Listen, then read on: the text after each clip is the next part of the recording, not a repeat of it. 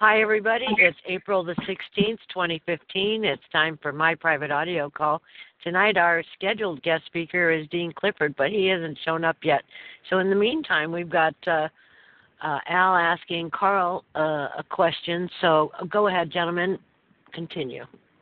All right. Yeah. So the question was, who do I um, address my or send my invoice to? Do I send it to the man that is, reg- is the registered agent for? Um, well, the, well, like the, I said, if Angela just started, if Angela just started, why don't you start the question from the beginning? So you know what I'm saying? Okay. It wasn't a very good question.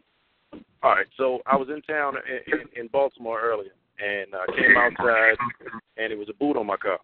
So I called them up, used a credit card. They gave me a code. I took the boot off the car, and then I took their boot back to them. So I want to send them a bill or an invoice for my services um, for bringing their boot back. So I just want to know who should I send it to? Do I send it to the city of Baltimore, or do I send it to? Uh, and, I'll let you take over from here, Karl, with your response.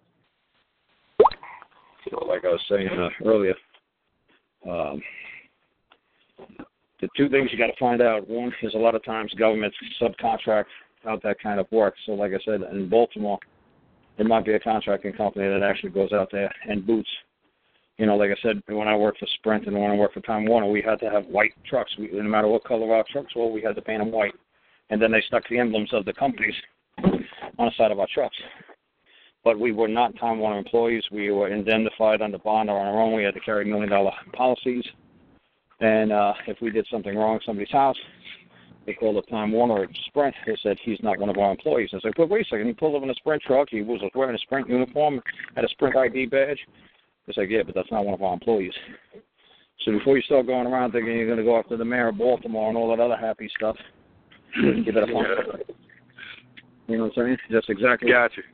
who and what it is that actually touched trespassed on your property. You got to find out like the man or the woman who touched it, and say who gave you the authority or the right to touch my property. You see what I'm saying? Right, I got you. You see what I'm saying? All right, understood. Okay, then when Appreciate you it. come up with that, you know, if you you know, uh, just uh, I guess call up on a Saturday show, you know, and I'll uh, we'll go from there. Okay, sounds good. And uh, like I said, uh, I don't know if you know my show, but it's one two seven four six nine. So just call me on Saturday, and we'll go from there. All right? Yeah, not a problem. I All right, can- thanks I again. can- uh, all right, no problem, Al. I got to mute out a second. I got to talk to my buddy here, but the next person can ask a question if they want to. All But uh, I got to say something You know- about it if you will. I, I have a I got- question, though, for you, Al. Is how'd you get the boot off? Oh, that's uh. Well, they they have um a key code that you can punch in, but in order to get the code, you have to pay. You have to you know call the eight hundred number and pay whatever you whatever they claim you owe them over the phone. And and what what make it so bad is the the the ticket was thirty two dollars, but the boot fee was one hundred fifty dollars, and then they charge you seven ninety five just for calling over the phone. Oh my God! So you paid to get it off to get the number? Yeah, I paid to get it off. Yeah, because I mean, I, I I got things to do. So, I mean, I, it's not a problem Sure. because I know I can get the money back. But yeah, it, I, it's an inconvenience. So I just had to know who to go after. I've been listening to to you for three years. I've been listening to Karl for at least two. So I know I can get it back. I've I've gotten stuff back before, but um, matter of fact, I had a court case. They sent me my money back in the, the within two days. They sent me my money back in a check. Oh. So I know Oh, I I, thought I know I can do it. It's just I just, just wasn't sure should I go after the city of Baltimore. But he he made a valid point. They they are subcontractors. I know exactly how that works. Hmm. Um, that's why the boot fee is so high because they're independent Ridiculous. contractors. They're not supposed to be there to make money off of us, you know. Oh, all, all the all the cameras, the speed cameras, all those are independent contractors. So when they when they um when they send you a ticket in the mail, they uh the the city only gets like twenty percent of that total fee, Hmm. and they get the the, the contractor gets eighty percent. Yep. Amazing. Yeah. Last year, the city made, I I believe, a little over two million just on speed cameras. Wow, that's It's a lot of money. Yeah. Oh yeah, but that's the thing. That like like you say, the pen is mightier than the sword. You just got to know what to write. Angela is uh. Yes. I remember. It's funny seeing a couple of your shows when you had Dean scheduled. Um, are you sure that he did he tell you that he's going to be on tonight? Yeah. He did. He confirmed it yesterday. Okay. Yeah, I'm just saying. I just remember a couple of times. You know, it was interesting. It was kind of funny sometimes when you were asking, "Where is this guy?" Yeah. You know. Well, I know he gets off work right at six, so Oh wow, that's cool. I don't know if he was working or not. Hey, I Karl, don't either.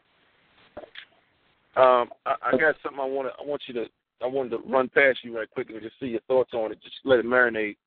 Um, in uh, in the Book of Revelations in the Bible, there was an account where John was um, was Mhm. having a vision, and uh, they were it was seven seals, and John was crying because he felt there was nobody worthy of opening up or breaking these seals. So the the angel said to John, you know, like, don't worry, we got somebody to break the seal. We got somebody worthy to break the seal. Of course, that was Jesus Christ. But Right. that same that same thing applies. I was hoping you I were. put I a- was, I was going to hope you were going to say that wasn't called that. no, No, no, no, no. But the same thing applies today. If I put a seal on my letter, and I write at under that seal, um, like for instance, if I if I if I send the letter to let's say let's say I send it to Mister and Mister or Mrs. Baltimore City, I know that somebody's going to open it.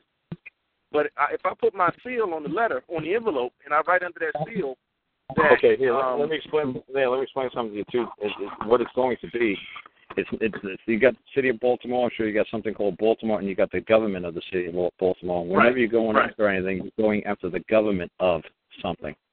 Of means for the benefit of something. Right. You know the United. You know, you know got if you. say right. So it's you like when I'm going after Alabama. Alabama is basically just a title. You know, the state of Right. Alabama is basically people that occupy a certain region on that planet Earth. That's the state. And then if Well, I want to actually go people who actually control the government, like the the acting agents on behalf of the people, the servants of the people, I'm going after the government of the state of Alabama. right. Well, okay, I'm not going was after just Alabama. You, you can't I sue a state. You can't go after the city. You've got to go after the government. Well, yeah, I wasn't. Okay. I wasn't saying I was suing them. I was just using that as an example. But I'm, I'm um, just you telling people. you were saying a lot of people. But I'm saying a lot of people ask that question of me, and that's what I try to tell them. You don't go after the United States. You don't go after the, you know, you don't go after the state of Maryland. You go after. You go after the Right. government of the state, and then you go after the CEO. You go after the magistrate. The chief magistrate of every state is the governor, and he's a man. And like I said, he Right. controls his agents. Well, so obviously well, you can go after the agent, and you're going to go after the man who controls all the agents. right. Well, here's here's my question. people go after. Here's my question. Um, in the past, you you were saying that uh, I you get used an example like Pepsi Cola. It's not Mhm. it's not my place to say that that individual's mother didn't name them Pepsi and his last name ain't Cola.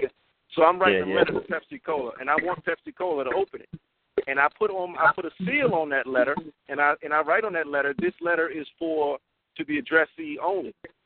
And if you are not the addressee, but you break this seal, you're subject to the contents within. Right. So once they op- once they break that seal, they've now accepted my my terms. You No. agree? No, No? absolutely not. Absolutely not. And a lot of people get in trouble with that. A lot of people get their cars repoed because, like I said, when you you have to have to have an to have an agreement or a contract, both parties have got to be, you know, uh, uh, in in you know, enjoined it. They have to, you know, you. you it's kind of like it's, it's like I said. If you look in the Constitution, it's called intercourse. You can't just sneak up on somebody in intercourse with them and say that was consent. Even if I write it on the outside of the letter. Okay, you write somebody a letter saying when an intercourse, you sneak up behind and you do it. Okay, what what, what do you think that they're going to call that? Well, no, I'm not sneaking up on them You- because they don't have to agreement. open it. She broke the seal. She broke the seal. She she read it and then she didn't tell you no. So that means go ahead, green light to go. Well, they can send it back. They can send the letter back. They don't have yeah, to but okay, but like I said, you said somebody broke the seal, right? You said somebody read it. Somebody's now they're. Well, I'm, I'm, I'm assuming that I'm assuming that, like, say for instance, if I still if I send if I send it to um to uh what they call it when you send money back, send money they, they oh uh, not payroll, um accounts payable, accounts receivable. So let's say I Mhm. send something to accounts receivable and I and I and I address it to Pepsi Cola.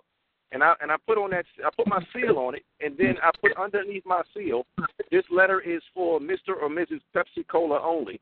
Anyone Yep. who opens this letter uh, other than Mr. and Mrs. Pepsi Cola agrees agrees to the terms within. Well, what I'm saying, So- plenty of people that either through the creditors and commerce people or the Winston Shrout crowd. Somebody was saying, put a dollar fifty on there, say uh, a, down in the memo, then for say, uh, you know, account paid in full.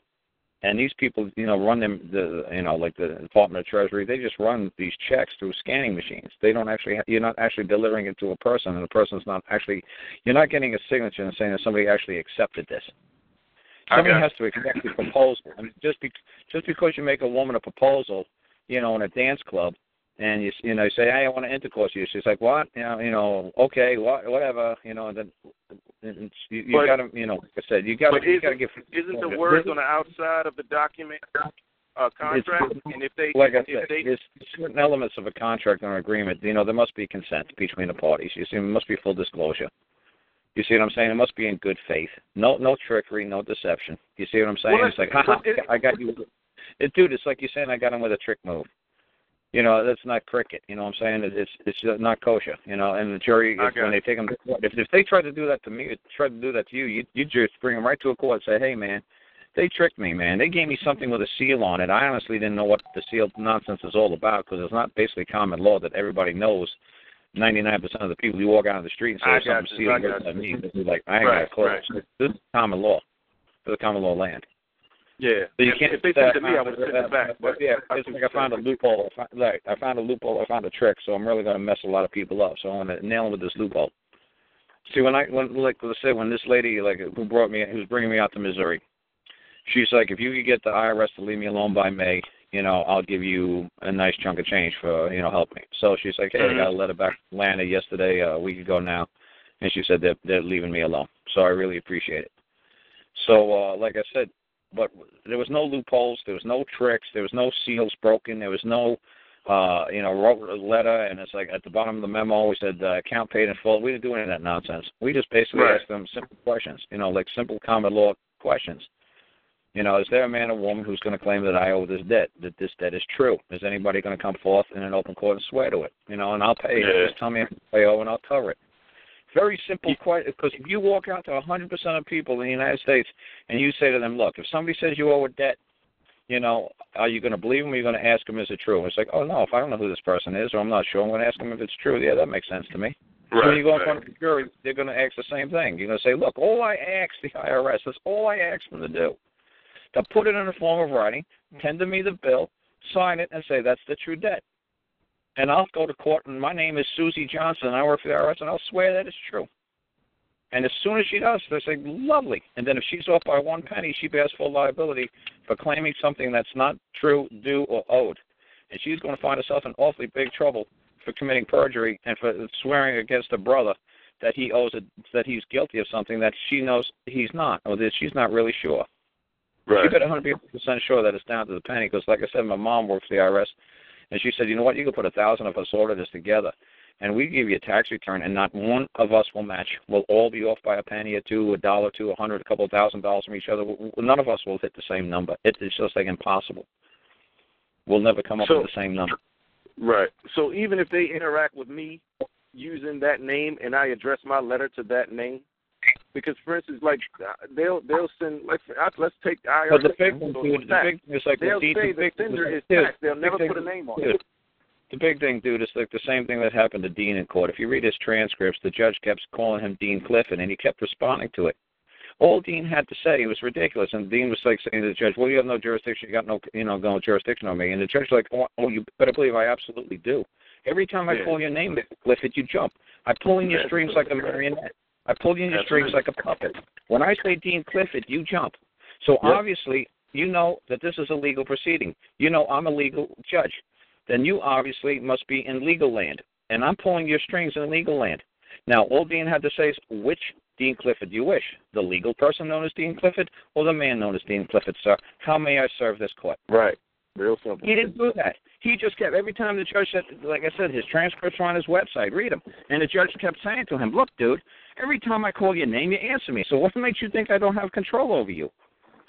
Right. Right. If I kept saying peanut butter and jelly, obviously you wouldn't answer. But every time I say Dean Clifford, you jump like a banana. Mm-hmm. you, you come up and you start yelling at me. You start giving me the third degree. You keep giving you going on and on with all your rhetoric, and it's like, dude, you this court absolutely has control over you. Look what we're doing to you. We're making you jump like a banana. If right. I kept saying Susan Johnson, you'd be relaxed and calm. You wouldn't respond. You wouldn't answer. But obviously, you believe we exist. Right. All you have to say is what name. Dean Clifford, yeah, Dean Clifford the person, the legal person, or Dean Clifford the man? Which one do you want to appear in this court?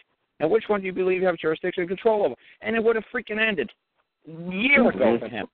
I told his brother that a hundred times.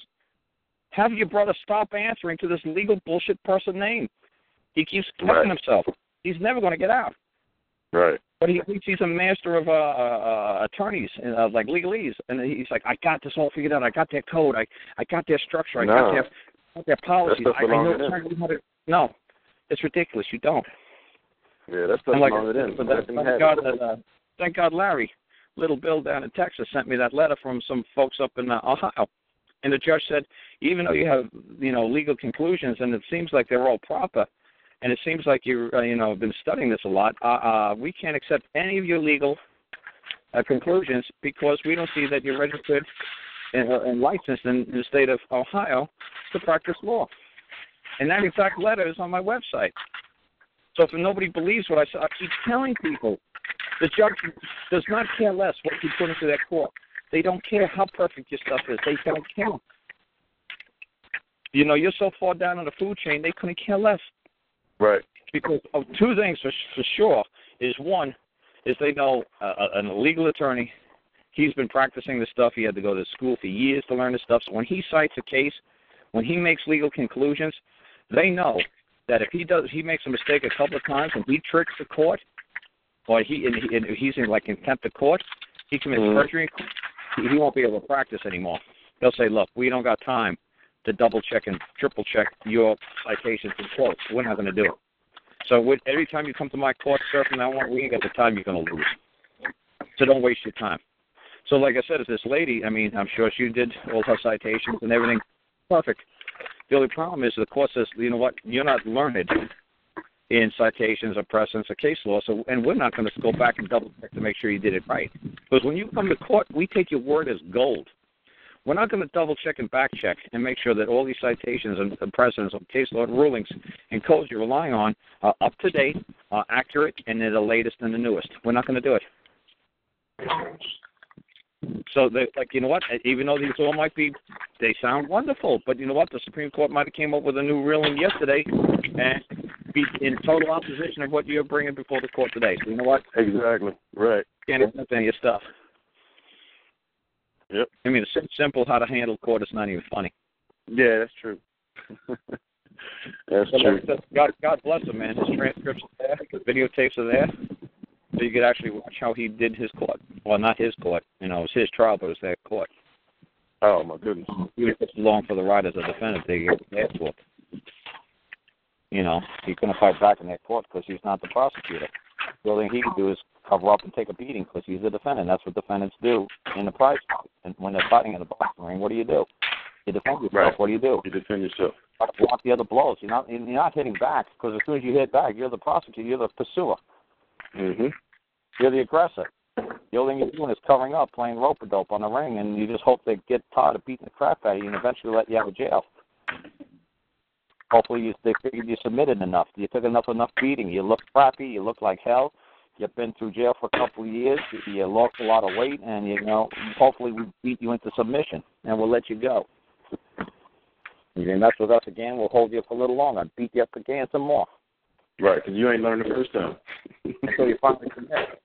Or before become a man. Or become a man and just say, okay, what do you wish the Dean Clifford the man to appear? Do you wish the Dean Clifford the legal person to appear? Which right. one do you believe they can, They can never operate in a private capacity. Only a man can. Right. No man, no, because you call me out man to man. Only another man could call me out. Right. You want to call me out? Call me out. I'll accept the challenge. I'll accept the, the duel. I'll accept the fight. I'll accept the battle. Man to man. You ain't going to bring a legal society. You ain't going to bring millions of legal attorneys after me. You know, uh, man to man. You can't do that. You got to fight me one on one. We're going to do this man on man. Yeah. And thank God, this, um, thank God, this land is still a common law land where we can call out man to man and saying who's who's accusing me of doing wrong. Let them take the stand and let them swear. This habeas corpus has been suspended. Uh, if it, you know if it hasn't, then I wish to have my accuser come forth into an open forum, and I wish my accuser to take the stand and read out to the world what I've done wrong to him or her. Not what I've done wrong to my neighbor, not what I've done wrong to society, what I've done wrong to him or her. That's habeas corpus. Habeas corpus has nothing to say about, oh well, that means I get out of jail and I go home free, like like he was thinking. That's not what it means. It means I got the right to meet my accuser in open court and have the plaintiff take the stand and swear that I've done something wrong to him or her personally, first-hand knowledge. Not to be afraid. Not in violation of.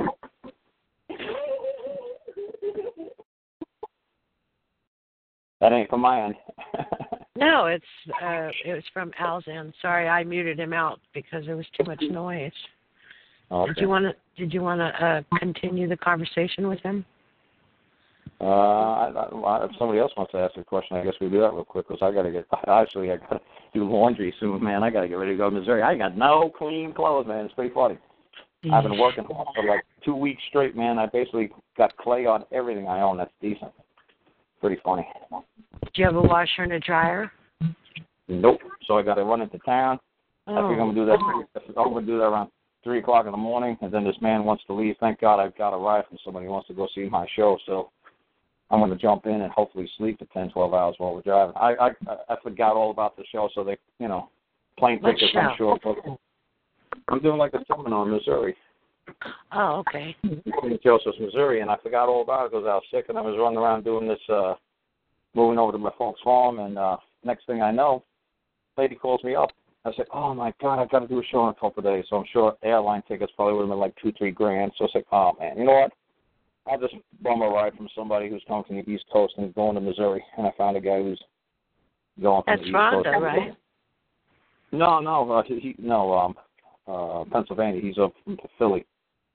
No, So but I mean, aren't just- you going to do a, uh, your show in in on behalf of Rhonda? Yeah, Rhonda. She's in St. Joseph, Missouri. Yeah. Okay. Oh, yeah, she's been Rhonda. talking about it for weeks. Oh, that's funny. Yeah, So. weeks and moving, moving I didn't know you so- called it a show, though. Well, yeah, it's kind of like a seminar show. I'm just going to go up there and perform. Give the people what they want. You know, I'm just going to hopefully have like a whiteboard there waiting for me, and I'll just point to the crowd and say, "What do you guys want to talk about?" I said, "Why talk about child support and custody? You guys want to talk about IRS? do You want to talk about IRS? Spend two days talking about IRS. You want to show?" Yeah, that's always a fun subject.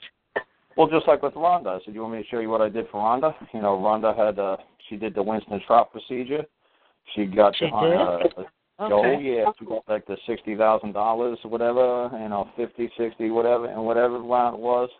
You know, everybody was writing everything off like crazy, Mm. and then obviously they come after you, you know, because you're an employee of the United States. That's kind of ridiculous and funny. Mm. But um, whose ever process that was, you know, that's ridiculous. So then, you know, you got to write letters to the IRS, and you, you know, you got to, you know, say, you know, well, thank God she had three different uh, senators write to her. One said like forty thousand, one said fifty thousand, one said sixty thousand. I was like, oh my God, this is sweet. We got absolute proof that they they're committing fraud. They have no freaking clue. Somebody says I owe this, somebody says I owe that, somebody says I owe this. Oh my God, sweet, lovely. Are you going to video? Is somebody going to videotape it? You think? Yeah. And like I said, so like I said, that happened to my sister years ago. Uh, she moved out of a, a home, and I and I told her, man, this this is a ripoff. This this contract is a scam. I said, you're leasing a house. I'm telling you. I walked around the house the day she moved in, and I said, you're going to owe between twelve and eighteen thousand dollars the day you move out. She said, that's ridiculous. I said, I shit you not. I said, I'm reading the contract, and I was going around saying the windows got to be, uh, the walls got to be repainted. This much money, five hundred dollars a wall, three hundred dollars for the windows. I mean, I was just walking around. And when she left, the house was spotless. And the, the lady who did the walkthrough, she, my sister said, it's almost Christmas. I need the money. Do you think you're going to give me the fifteen hundred dollar deposit soon? And she's like, yeah, you know, soon. And I said to the lady, well, if um, say she owes, I don't know, like I don't know, you find ten thousand, fifteen thousand dollars worth of damages, will you let her make payments over time? And my sister said, oh, stop being ridiculous. They're not going to do that to me. And she said, yeah, well, yeah, we'll let her make payments. And I said, so you do? Is it so like other women who have children, like my sister, just a single woman who has kids. And uh, I'm, I'm sure you let them make payments all the time too. She says, "Oh yeah, all the time. We let you know them make payments too. We don't, you know, go after them for the full amount." And my sister said, "Well, that's other women and children, but they would never do that to me." I said, "Yeah, right. You're a sucker. You're a woman. You don't read the freaking contract. You fell in love with a beautiful house, and you have no idea what you just signed. I told you don't sign it until I get here, and you signed it anyway." So so funny. On Christmas Eve, she pulls up into my driveway. Uh, not in her driveway. Sorry about that. With a kid, and I'm sitting in front of like the fireplace because it's Christmas Eve, and she's crying like a baby.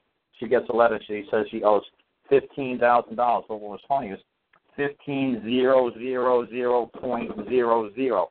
That's how much she owed for damages. And I said, and I took the letter and I just rolled it up. I said, "This is fraud and extortion." I threw it in the fireplace. Thank God she pulled it out in my dictionary, I actually have the response that I gave them, the second letter I wrote to them in the dictionary thing I wrote, so people could have an example of what's extortion and how to handle it. But then I said to I said to my sister, look, enjoy Christmas. Let me write a quick letter. Look, I'll fire up my computer. I'll have two sentences. I'll mail it out Monday morning. You know, December 26th. This is all going to go away in a week or two. Trust me. And she's like, "Oh, I'm going to be broke. I can't pay this much money. You know, I'm stressed out as it is." I said, "Stop crying. Enjoy Christmas." So the first letter was like, "Can you please um, give me an itemized statement of the bill, so we could pay the bill, you know, so we could, and, and move on with this matter like forthwith." Something simple like that, two sentences. So they came back with the actual itemized statement of the bill. It was eight thousand seven hundred, like nineteen dollars and sixty-seven cents. So I said, "Lovely. This is fraud. This is extortion. This is communicating threats, saying." If you don't pay us, we're going to take you to court with the fifteen thousand dollars. I said yes, because actually in the code of Virginia, of 1950, it clearly says extortion. If you threaten somebody with a legal procedure, that is also considered extortion.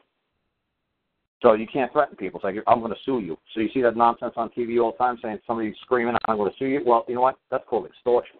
It's just like a Gambino saying, you know what? I'm going to break your legs if you don't pay me $15,000. You know, I'm going to take you to court. That's stressful. It's scary. It's, uh, you know, it hurts your uh, status and your character in the public. So, uh, to be considered a defendant, and then it goes like on your permanent record with credit agencies that you went into a uh, like a bankruptcy court or you know uh, an eviction court or whatever. You, get recorded for you know you'll be known as a defendant, and believe me, it's going to hurt you you know in the in the financial world as well. So anyway, she um I wrote a lovely letter back to them. That letter's really cool. That's the one I put in the dictionary. I basically just said, we will be more than glad to entertain your suit in any open form within the Commonwealth of Virginia. And I hope that you're willing to answer our suit as well, because we are going to not only believe that we believe you committed extortion and that you claimed a debt that was not true, but uh, the, the Code of Virginia in 1950 clearly stipulates under the terms of extortion, under like whatever the code was, 16.1301, that communicating a threat by intimidating somebody by a court procedure is extortion, and by uh, and then the, whatever the other code was for um, a fraud, making a claim that was not true of a debt, or making a claim that that somebody owes a debt that's not true. So I said, we'll be more than glad to entertain you in any court if you will accept our invitation to our court. So we never heard back from them again, and that was 2007, I think. Yeah, 2007. So she was like, wow, it really works. I said, yes, believe me, it really works. This stuff isn't rocket science.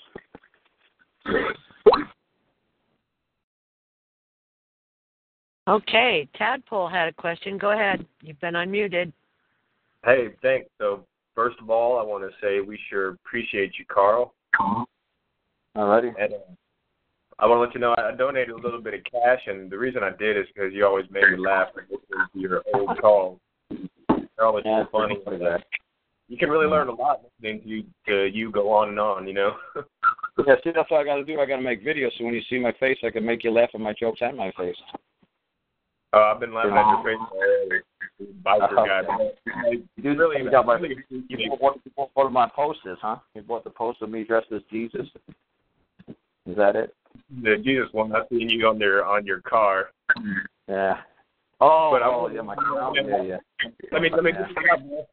Let me get this out, man. I just want to let you know that uh I was a I'm a man who I'm getting terrible feedback. I don't know who it's coming from. Karl, All why right. don't you mute yourself out better? when you're not talking? Go, yeah, what'd you do? I turned it off speaker. I'm trying to let, let my girlfriend listen in too. But uh, Y'all should know by now not to have your speakerphone on. It doesn't come across very well at all. Okay. yes, ma'am. Go ahead.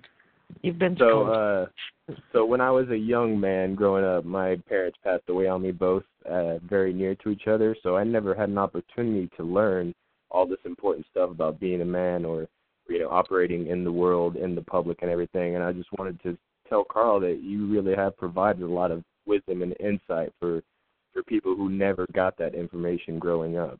You know, I was Well, how taught how to. How old are you? I'm I'm 28 now. Great, man. I I love it because it was funny on Angela's show one time. I'm glad that you're in your 20s. What happened one time, Angela had some hillbilly guy from Texas on, and I disguised my because I first came on with my voice, and the guy said, "Oh no, I ain't answering any questions from that man. Oh hell, oh, I no. If he talks, I'm leaving it." And so Angela was like, "Goodbye, call."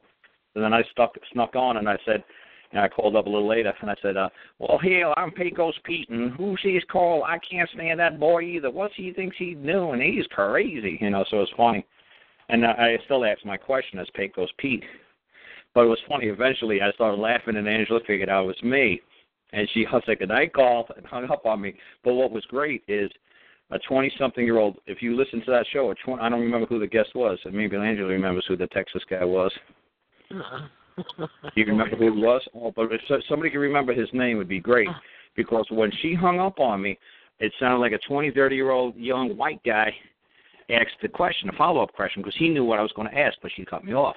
So then when he was done, a 20, 30 year old white girl called up, and she followed the next question that she knew I was going to ask. And then a 20, 30 year old black guy called up, and he asked the next question to this guy. So it's like, oh my Yeah. God. I got We're 20, 30 it. white boys, white it girls, worked out. yeah, but what I'm saying is 20 to 30 year olds who were, who knew my spiel so well that they could follow through with it. If even if I dropped, Yeah. like I dropped, you know, I got cut off, I got dropped. They were able to pick up and run with it. They knew where I was. Well, gonna you know why? next. You know why? It's because we grew up in this age of where liars rule the world, and whenever we start hearing truth, you know, it's easily recognizable because we are so fed up with the way things go nowadays. And you know, it's always been like that as far as these young people know. But you come from a time when there was still honor, where there was still you know correspondence, and there was still high value in the way man treated man, and that's what we need nowadays in the world. And uh, it's it's really great that you're still out here doing everything that you're doing and still reaching to people because we all need it. And if we can get all the young folk, you know, grabbing this power in their hand and and uh, taking responsibility for their lives, then you know the lawyers. It's like you said that one day.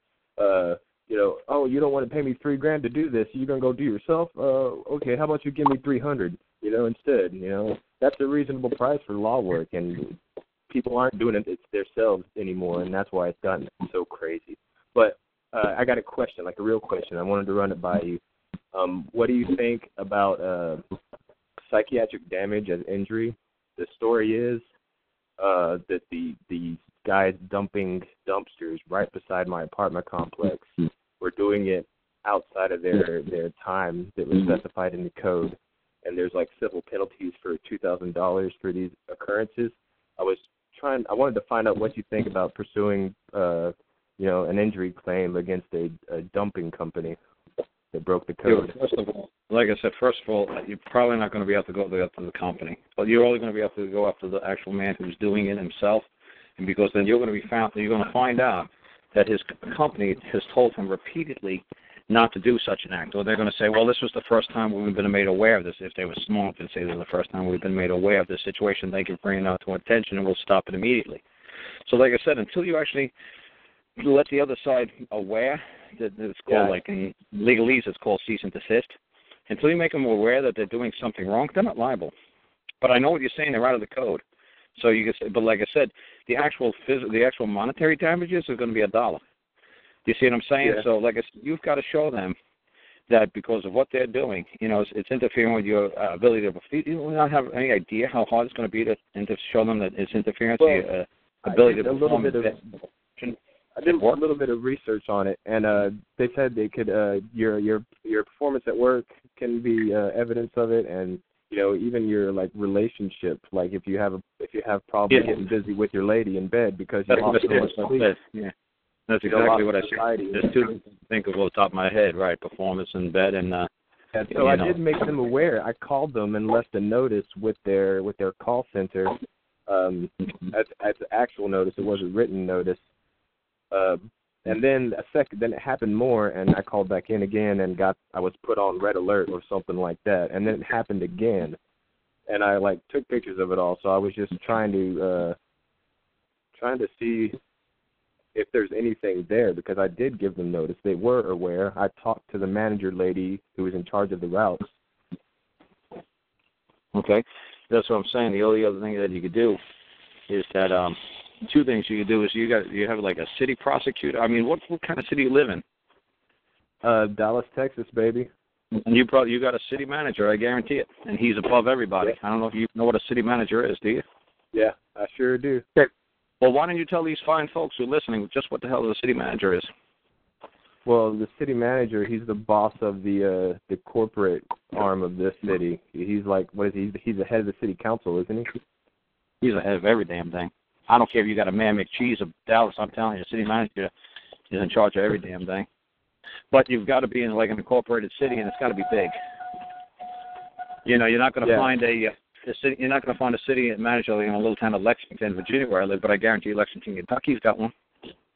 Yeah, I'm almost positive. I think I even know who the guy it is. But so, what would be the Yep. course of action You after to go. that? To, you have to go there and talk. If if it's a city sanitation department, that works even better. But if it's not, if it's private contract, you have to. You know, like me, when I, when I had a problem like that, you actually got to. I, I loved it, man. I just walked right up to the city manager's office. His door was open. I just walked in. I think uh it was hysterical. I just sat down and started talking to him. I said, "Yeah, I believe you're city manager. Yeah, well, I got a little, a few things to discuss with you." You know, and he was like, "But I wore a nice, you know, I wore a nice suit and tie," and he thought I was like somebody who worked for him. you know, I was just like, "Oh, you're just like somebody off the street." It's like, "Yep." He's like, Yeah, "How did you?" one of the reasons. you It's one of know the even? I, but what I'm saying, he was like, "How did you know I even exist? How did you even know what a city manager is?" Because they don't Well, just- explain this to nobody. Well, because I've been interested in what I, when I first started looking into law, it was because of all the crazy things government does, and I started. In, I was interested. I was like, how do they get their power? Oh, they got their power from the Senate, and the Senate is a court. Oh, Senate's a court. What is a court? How you know how do these courts work? Oh, every city has a court. Oh shit, every state has a court. You know, okay. I need to really know how this court thing works, and so that's I started looking in and seeing that you know the city council runs the corporate side of Dallas, and you know the public works work for them. And I really wanted to. I was thinking about pursuing a claim because that's what got me on the claim road. Was I was so mad at these guys for waking me up and all the time. So, but if you know, I just biggest- trying to see how possible that was. Well, like I said, the reason why I'd go up to the city manager is because he's uh the McCheese guy. He's the top guy up there. So, like I said, he can't possibly say that uh you didn't make him aware, and then that way you could go after the big dollars. Because all honestly, all you go after is the guy who makes uh ten bucks an hour. You know, you're not going to get much. You know what I'm saying? Yeah, so, like But you always what if I got this supervisor who failed to train and discipline her subordinates? Because And, well, he makes twelve bucks an hour. He only makes twelve bucks an hour. So, like, you see what I'm saying? You go in a little guy. yeah, still after the got it? man. I can't. I can't touch the corporation. I would only be able to go after the man. Right, you can always go after the man. Right. So, like Okay, I I was thinking. if you want to go after the corporation, you have to go at them as a corporation, and you're going to reduce your status, and you have to be a plaintiff, and you have to play by their civil procedure rules. Yeah, and that means knowing all of uh, Dallas's local rules for court and Right. knowing their code and all that If, bull if crap. you go, if you go after, if you go after a second dimension entity, you have to. It's like Who Framed Roger Rabbit. You know, you Oh, got to I get that movie. Right, but that's exactly what it's about. You know, if you got good credit and if you're a good risk, the second dimension will actually let you participate in the second dimension world. If you don't have good credit with them, if you don't, if you're not a good, you know, honorable person, the second dimension isn't going to let you play. Yeah, I got problems with the second dimension right now. They my driver's license. The thing is, I'm I'm I wish to keep my driver's driver's license and re, Not- and retain it and stuff, It's, but they dude, say it's not I your owe driver's them debt for it. Dude, it's not your driver's license. Well, it's not yours. another case. You didn't create it, dude. You didn't create it. Oh yes, sir. I understand that part. Right. Good. You're not the creator, so it's not yours. You're just bearing the burden. Yeah, if I don't if I don't bear their- that if I don't bear their license though, other people are less likely to contract with me. So I would one the last thing I want to ask. are you, are you a commercial driver? Well, I I need to operate motor vehicles in order to uh, photograph You need, a no, you need to get you need to get behind the wheel of your property and take it from point A to point B, right? No, not my property in this case. Not my property. I would Oh. go to someone else's dealership and get in their property and photo their property. Game, that's the game you chose to play. So that's that's what's required. If you want to fly a plane, you don't- need to get a pilot license. Exactly. So if I don't agree with the traffic court, because the traffic court moved and I never appeared in the court, I never had anything to do with the court. They just deemed that I owed these fines. So now I would address the Secretary of State and try to just negotiate some kind of equitable settlement. Absolutely, that's exactly what I was going to say. Anytime you get a fine, penalty, anything from Pump Motor Vehicles, say, I love it. Well, how much you got? Want me to pay? Ten gazillion, three hundred twenty-seven billion, eight hundred. You've got it. Put it in form of a bill, sign it, and I'll pay the damn debt. And that's addressed to the Secretary two of things. State, not two not the municipal court. No, the court doesn't. The court's not coming after you.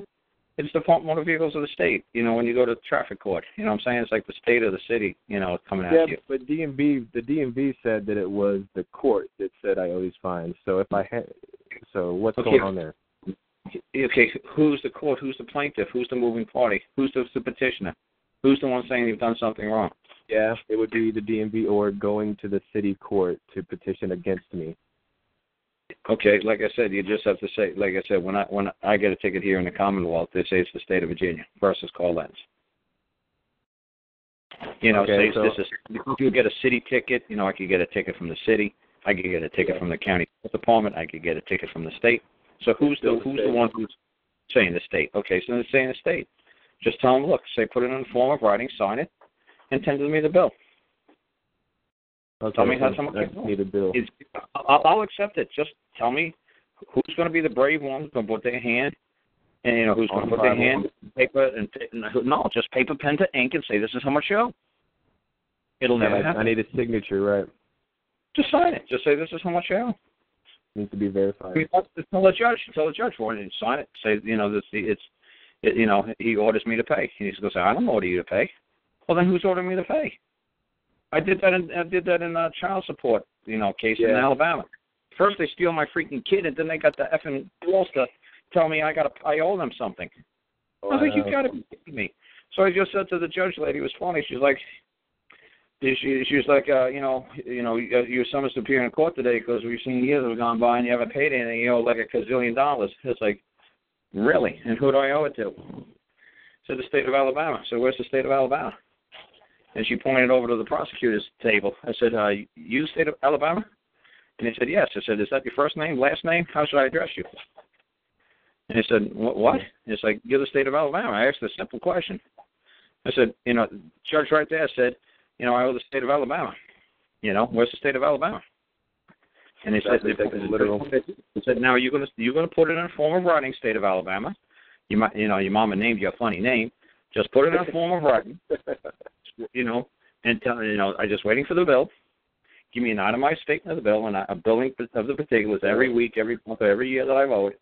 Just sign it and just say it's true, and I'll be more than glad to pay the bill. and so that's And I the judge, to the state. the judge and the judge lady, you know, exploded.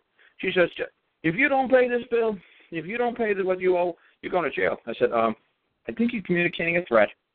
You're giving legal advice on the bench, and what you're doing is extortion, Mrs. Gambino. You're going to break my legs too when you put me in a cage." She's like, "Well, you just better pay it." I said, "Is that legal advice?" I said, "You my attorney? You acting on my benefit on my behalf?" She said, "Well, you just better pay it." I said, "Ma'am, I want to pay it. I would love to pay it. I asked you a simple question: Who do I owe the money to? State of Alabama. You pointed over there. Did you not hear me say State of Alabama? Put it in a form of writing. Put it in a bill. Give me an itemized statement bill and sign the damn thing, and I'll tender the payment immediately." I said, "What part of that didn't you hear, Judge?" I want to pay. I'm waiting for the freaking bill. Yeah. What's the problem, ma'am? And she's like, uh, next case. Yeah, that's when they usually Next dismiss one, it, huh? The the lady behind me owed three hundred bucks. I was like tens of thousands. Lady behind me said uh, the judge said, "Why haven't you paid your uh, uh, child support like three hundred bucks?" He said, "Well, whatever he just said." And the, and the judge said, "Give her a brace, pair of silver bracelets and get her out of here." For three hundred bucks, I had tens of thousands, and the lady behind me was like, "Well, whatever he just said, you know, I'm, whatever he just said, uh, I, I like what he said, you know, because he's walking out. I want to." And the judge realized, no, it's not, it's not that easy, sweetie. We know what he's going to do to us. You ain't going to do nothing to us. See, so it's a big difference. It just shifts. The lady behind me just said exactly what I said. The judge would have been like, "Wow, how many people are figuring this out?" Or is this lady behind him bluffing? Does she really know what this guy just said in front?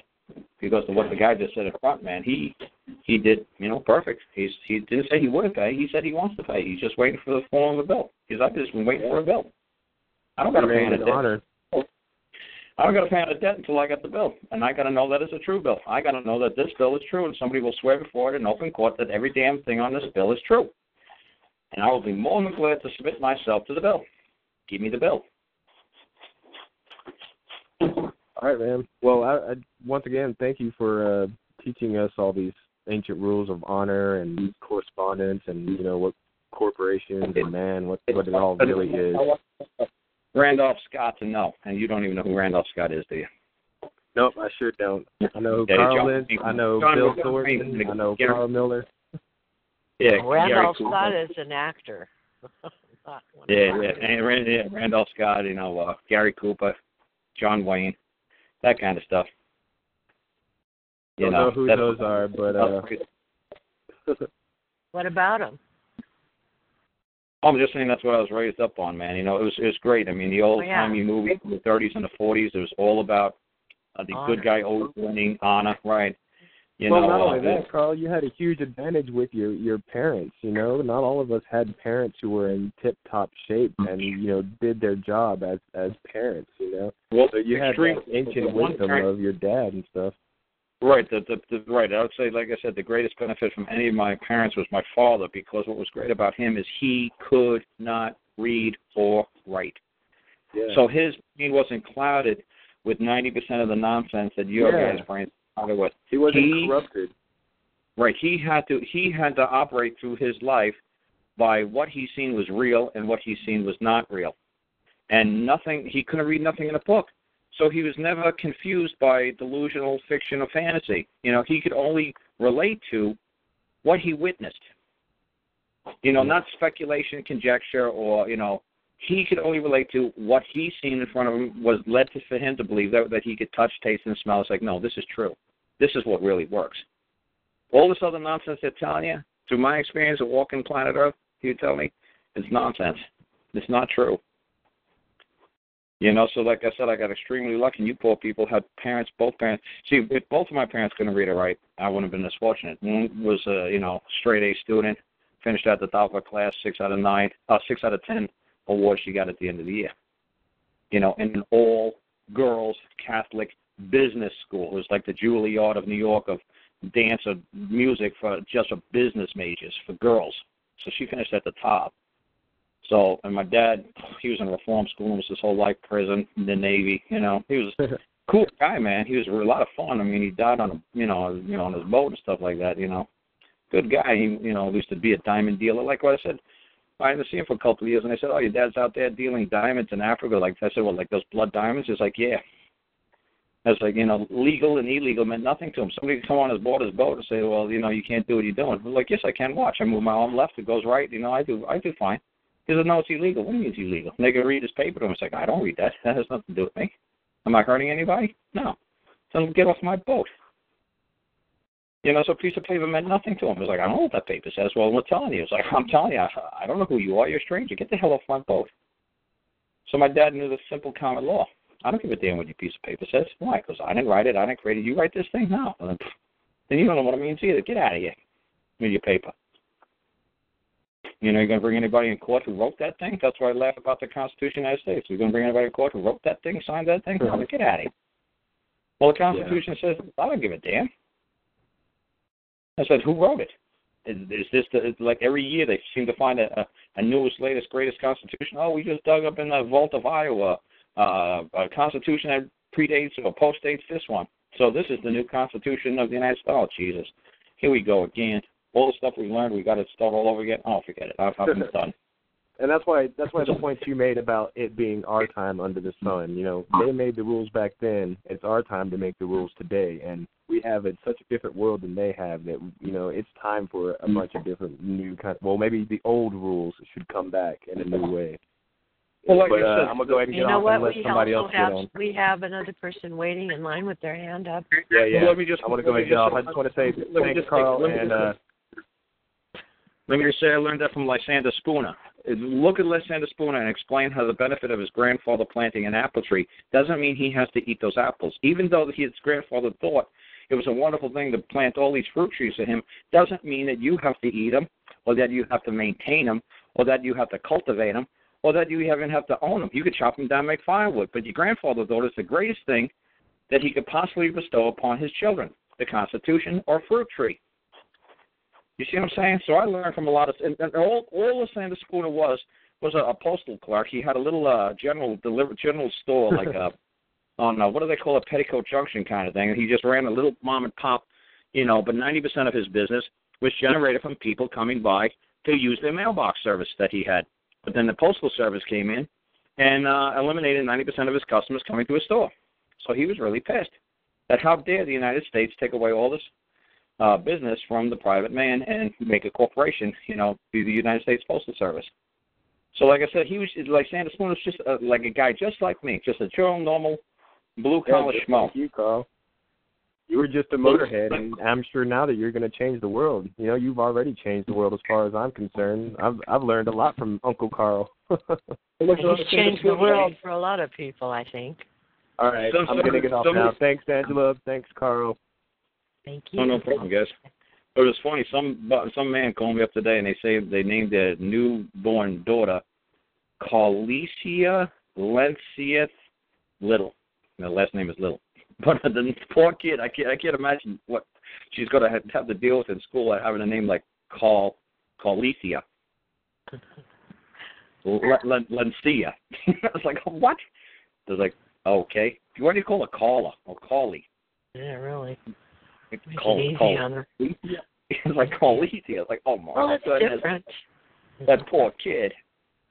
Yeah. Um, let me just make an announcement here. Dean Clifford, if you're on the call, press star 8 and I will unmute you. Otherwise, we're going to continue on. Karl is filling in nicely for you. Hopefully, you'll be there. Are you going to be on for a little while yet, Karl? Yeah, I'm just taking care of the animals right now. I'm, I'm fattening them up with uh, tons of chop meat. I do this before I go on any trip, and uh, I got one cat that I call Fatso because I, I put about ten pounds of ground beef down, and she must have ate like eight, and her ribs expanded so big. I was Oh, like, holy God. cow. Yeah, but now Kill she's back cat. to normal. Oh, Yeah, she's back to normal. She's back to normal size, but I still call her Fatso. You know, I was like, look what you did to yourself. You know, she was walking like a balloon. She was just about as wide as she was long. It looked ridiculous. But you had you said you have someone there that's going to tend to them while you're away, right? Yeah, the cats uh they stay in the house and I give them a ton of food. And then the dogs they're going they're going over with my neighbors. Okay. Well, how long are you going to be gone? Uh the man wants me to we want to leave at like six o'clock, five, six o'clock Friday morning. It's gonna take us about twelve hours to get there. So we'll get there hopefully around six, seven o'clock at night and uh Saturday and Sunday's the show. And then how long till you get back? Like ten, twelve hours. And then I get right back to uh roll the backhoe. You know, my folks got a nice farm. It's huge. People don't realize how big it is over there. So when I say going back towards my folks' farm. Oh, I already got I already got my own trailer set up, you know, like acres away from their house, so it's nice and quiet. And, and my kids are grateful as hell that I'm back. It was pretty funny. Um, like I said, it was uh, actually videotaped. I hadn't seen my kids in years, and I got lucky. A man from Australia flew out here just to meet me, just for the day. So he, he, I seen a number that came up from my fam- like a family's home. I thought it was my family calling me. I was like, wow, you know. So I answered the phone, and he says, "No, I'm up here." He says, "I I found your address." I said, "That's my old address." He says, "Well, I'm like here." I said, "You know what? Stay there. You know what? I haven't seen my family for years. You know what? This is going to be funny. You stay there, and if anybody comes, you know, I'll I'll tell them, you know, yeah, I'll- be right there." So I went up there, and I knocked on the door, and then my mom popped out, and she was like, "Oh, it's been a while." I said, "Yeah, it's been like what, like five years?" She said, "No, it's been seven. I said, uh, yeah. I said, I seen a guy in the driveway, waved him down. I said, hey, come on down here. What's your name? He said, my name's Pat, and he's got a crazy Australian accent. And my mom's like, oh, my name's Pat too, and it's St. Patrick's Day. And I said, yeah. Why are you here in the United States? He said, I just wanted to talk to you. So, oh, you flew 24 hours here in the United States, and you know what? Where did you land? Washington. Oh, you just came out here to find me, huh? Like, yeah, I just got to ask you some questions. So I was telling my mom here all the so my mom said, "So when you're in the United States, you're gonna check out the sites and you go to Wash back to Washington tonight?" She's like, "No, I'm getting back on a plane, going home, because I just want to come talk to you for a couple hours." But it's impossible wow. to get them. But it's impossible to get them on a phone. So it's so funny. My mom was talking. She watches me on YouTube, and my kids watch me on YouTube, so they know who I am, and they know what I'm doing, and they like the comments that they read on YouTube. So that works out good. They're like, "Look, Daddy's not in jail." But what was funny is um my kids were at Girl Scouts at a at a church. My mom said, "Look, I got to go pick up your kids at Girl Scouts. You know, come along and take a ride." So I said, "Okay." I followed them along, and I got an old Smokey and a Bandit car, so I put my Downs boy in there, and he liked it because it was loud pipes and stuff. So I gave him a Hmm. ride to down into town. I hadn't seen him in seven years either. So, but he's functional. He's a good Downs kid. He's a happy one. So what was funny is I got to the church, and there was like 12 girls there. I said to my mom, I don't have a freaking clue which ones are mine. Can you point them out? And she said, that tall one and the one with the long hair. I said, oh, okay. So when I went outside, you know, I, I videotaped me meeting them for the first time, and I introduced the Australian man to them, so that was good. So they kind of knew, it's like, look, Dad's not in jail. Dad's not selling drugs. Dad's not running from the law. I've been really busy helping people like him. And, I, you know, hopefully now I'm going to start slowly coming back into your lives. I said, I think I pretty well got everything done I need to get done. You know, I said, I think I pretty well got this thing in enrolled in gear that it needs to go in. And I think I could basically let it loose and it'll take on its own life. I said, so, you know, maybe a couple more trips, you know, and then uh, do some uh, DVDs and uh, I'm done. Well, that'd be good back. to get to know them again and be part of their lives. That's Yeah, so, wonderful. Well, what was good is I only spent 10 minutes and I said to these kids, I said, but look, I really got to go now. This man needs me to talk to him. I'll catch up with you guys real soon. So it's funny. My niece called up my sister and said, look, his daughter just called me and said, we just met Dad. Hadn't seen him in seven years, but the visit was real short, so I wish we could have seen him longer. So I was like, yes, because I thought there was a how dare he shows up in our life after all these effing years. I hope that clown never shows up again. So it could have went one or two ways. So I kind of got lucky and it went a happy way. Because said, they said never show up in our life again. I would have never showed up. I would have said I respect that. You know, if that's how you feel, I don't blame you. And I would have just went on with my life. But they actually, the, they said that they actually wished the visit was longer. So that gave me a good uh, indication that they really want to see me. And uh, what was funny, my daughter wrote this email to me, and uh, it's funny. She says, "Um, well, hi, Dad. I just wanted to let you know that I go on your website sometimes and your YouTube channel.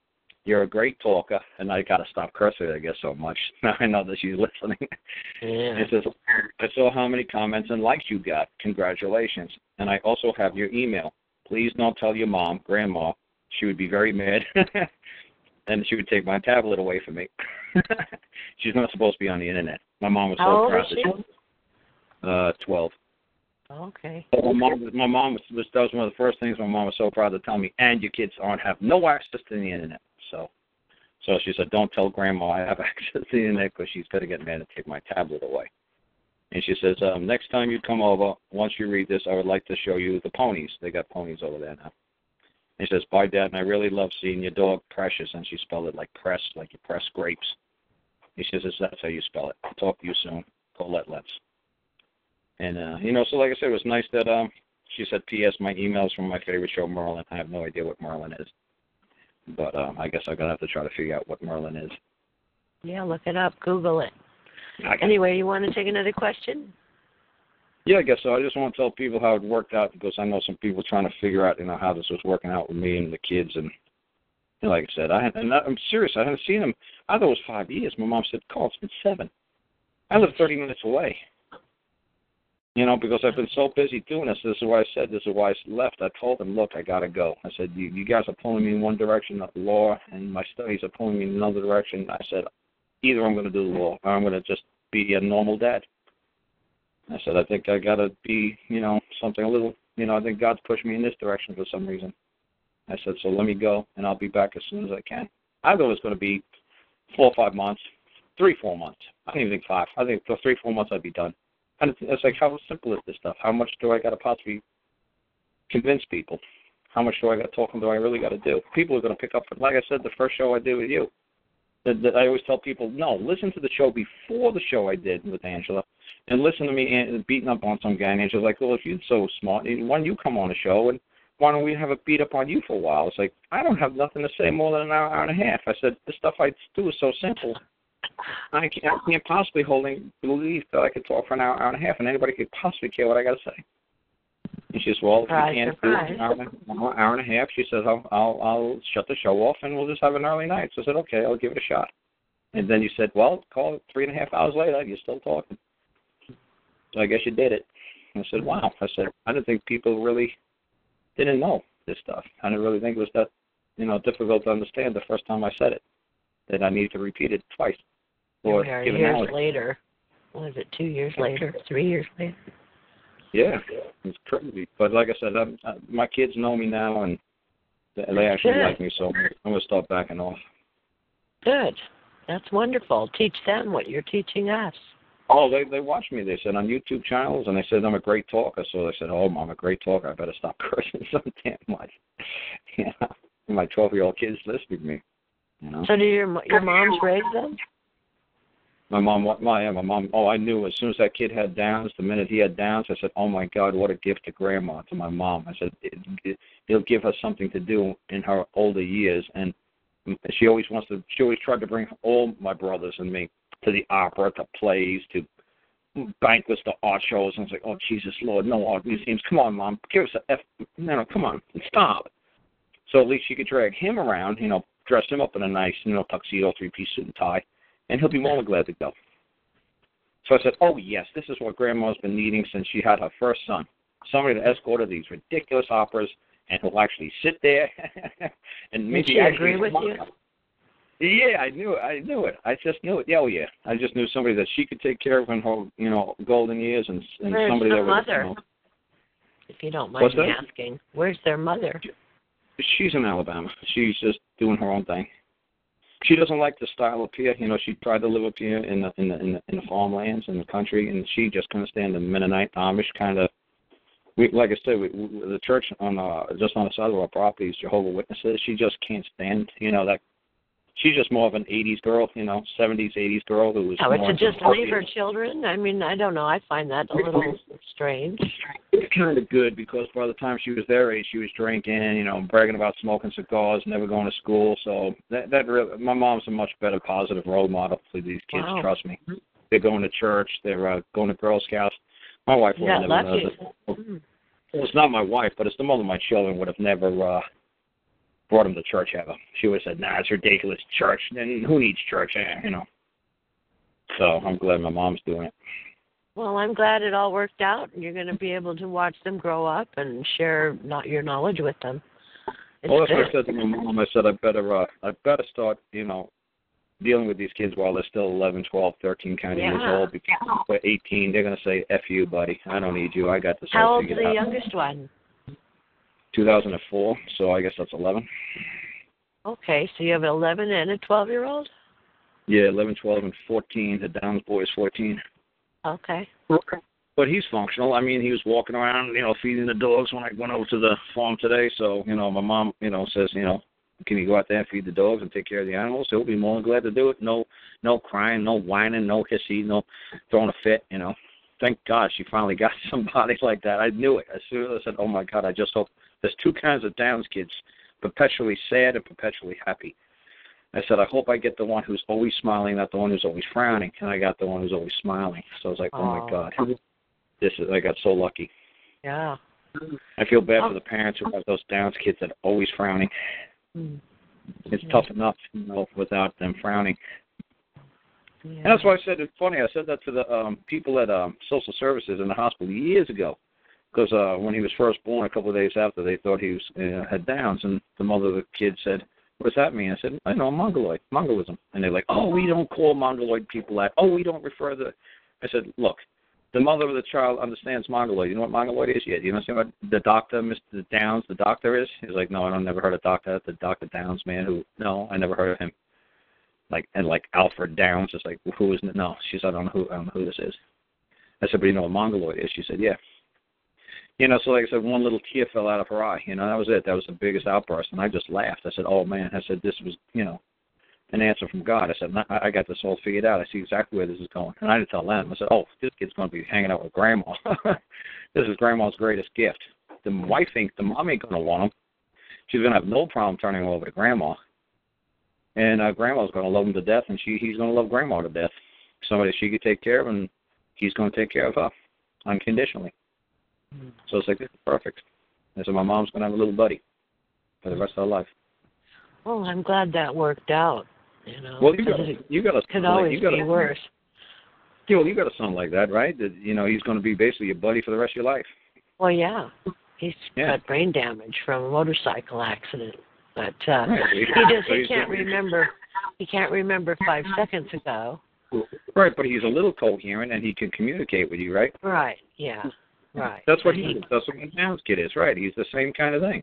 Yeah he's brain you know his brain's not fully functional but you know you know he's there he he could talk back and forth he could you know perform simple tasks like you know go you know want to feed the dogs go take care of the ponies whatever go feed a goat he'll do it and that's why i told the women at social services they said well how are you going to provide for him i said are you kidding me we live on a farm my mom's going to hand him a bucket and i said go feed the That's goats wonderful yeah I said he's going to be fine. I said the goats are going to love him. He's going to love the goats, and uh, and we don't need anything else. We got this covered, ma'am. He was like, well, what about like in schooling? I said, ma'am, come on, he ain't going to be the next Albert, uh, Albert Einstein. He's fine. We got his covered. I said, God made him to do this. We're going to accept it, and we're going to go on. Everybody can't be Einstein. We're fine. He's going to be all right. God will provide him. Don't worry about it. God did this. God designed him and made him this way. For some reason, you know, God will reward him in the next lifetime or whatever. Maybe this is maybe this is God's gift to man. Downs kids. I don't know. I'm just going to play with the hand that God gave me. I ain't going to whine about it. That's it. That's what I say too. You know, well, every once in a while, you, someone will throw you a wild card, and you can work it to your advantage. But this is that hand you're dealt, and well, yeah, make the best of it. That's it. Yeah. Make the best of it. I said that to the hospital staff because they were trying to get a negative reaction out of me. I said, "Well, they said, you know, he's going to be deaf, dumb, blind, and crippled. I said, yeah, and I said, uh, I said, I know how to raise a plant. I said, you say he's going to be a vegetable? I said, yeah. I said, I'll put him in the sunshine and window in the morning, and I'll move him over to the evening sunshine. He'll feel the sun come up and the sun go down on his face, and uh, we'll have a lovely day. But is he deaf, dumb, and blind? No, but they were trying to scare us. They said, can't yeah. you just sign him over to the state, and we'll take him as a ward of the state for the rest of his life? And I said, no, the guy never gives a man nothing more than he can't handle. So if you're telling me he's going to be deaf, dumb, blind, crippled, he was only bound for two pounds nine ounces. So mm-hmm. they were, so it's like, so if he's not, you know, if this is the best he gets, I said, uh, God never gives me nothing I can't handle, so God must think I'm one hell of a tough son of a bitch to give me a kid who's deaf, dumb, blind, and crippled, right? Oh. Anyway, they're like, well, this is a. We never heard anybody look at it that way. I said, come on, what other way is there to look at it? Cry? I don't know these people. Where who? Oh. I don't know where these people come from. Yeah, but like I said, they're the kind of people who, like I said, they do standing they do standing ovations when a doctor comes on and says, "Look, if these kids are born, you know, and they're, they're, they got autism, you know, by the time they're three years old, if they're not cured, you know, we'll still give you the option to, um, you know, euthanasia, you know, abort Oh my them. God. Oh yeah, but there's people that actually believe in that. That if autistic kids don't show some sort of, you know, cognizance by the time they're three years old, we'll still leave it open, you know, like a buckle, you know, like a uh, Obamacare, whatever that's called. Uh, I keep keep forgetting. You what know, the actually Bushes did that. What's that? Barbara Bush and George Bush, they had a daughter, another baby. And Right. uh it was there was something wrong with it. They didn't really specify exactly what was wrong with this child. But uh Barbara and George took the kid to another state. They said for some, you know, experimental treatment, but the child died and was buried in that state, nowhere near the family plot, you know, in uh, wherever it was. I Yeah. think they were. But like I said, uh, my my, my uh, first wife actually, you know, got to spend about 20 minutes with George Bush Senior, and she said he was just a regular, small, normal guy. So, you know, like I said, he he, he liked, you know, laughing, joking, picking, you know. So, evil. yeah, and it was funny. He was actually in a, he was doing a um, governor's convention they have in Las Vegas all the time. She was a taxi driver, and so was I. And what was funny is she had to drive a speechwriter from Golden Nugget, and he wasn't done with the speech. So they said, "You know where the security entrance is for Caesars?" And she's like, "No, I know where the Forum Shops is, the the, the casino, and uh, the hotel. I don't know. I never went to the, security entrance." And he's like, "Well, it's in a, in a parking garage." So Bush Senior was waiting for the speechwriter, and he took a look at her. I was like, "Oh wow, you're a cutie. All the taxi drivers as cute as you." And she said, "Well, oh, Mister, being, you know." And she's like, "Oh, and you're Southern too." She said, "He said, do you mind if I jump in your cab and go over the speech?" And she said, Well, Mr. President, hop right on in. But he didn't jump in the back with the speechwriter. He jumped in the front seat with her. And he was just hitting on her, flirting like crazy. And the speechwriter kept saying, George, we got there's 50 governors waiting. Come on, you know. She's charming and all, but we got to go for the speech. And then she just kept saying, We'll be right with you. we were just talking up here. And it was funny, I can man. barely understand you. What's happening with the sound? Well, what, was, what I was trying to say with, uh, with, with meeting him is, um, like I said, I didn't really believe that she had met him. Oh. And how I knew she met him, I said, okay, where's he from? And I bet you get you can guess where George Bush Senior is from.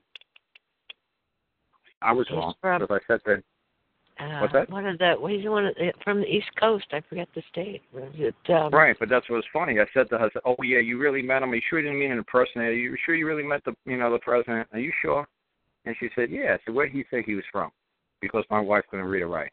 You know, so I said, you know, because she was uh, American Indian, and she just picked tobacco when I met her. You know, she was jet black on her legs for picking tar tobacco leaves. So I said, "Oh yeah, where'd you meet him? You know, like what's his name? You know, where where where'd he come from?"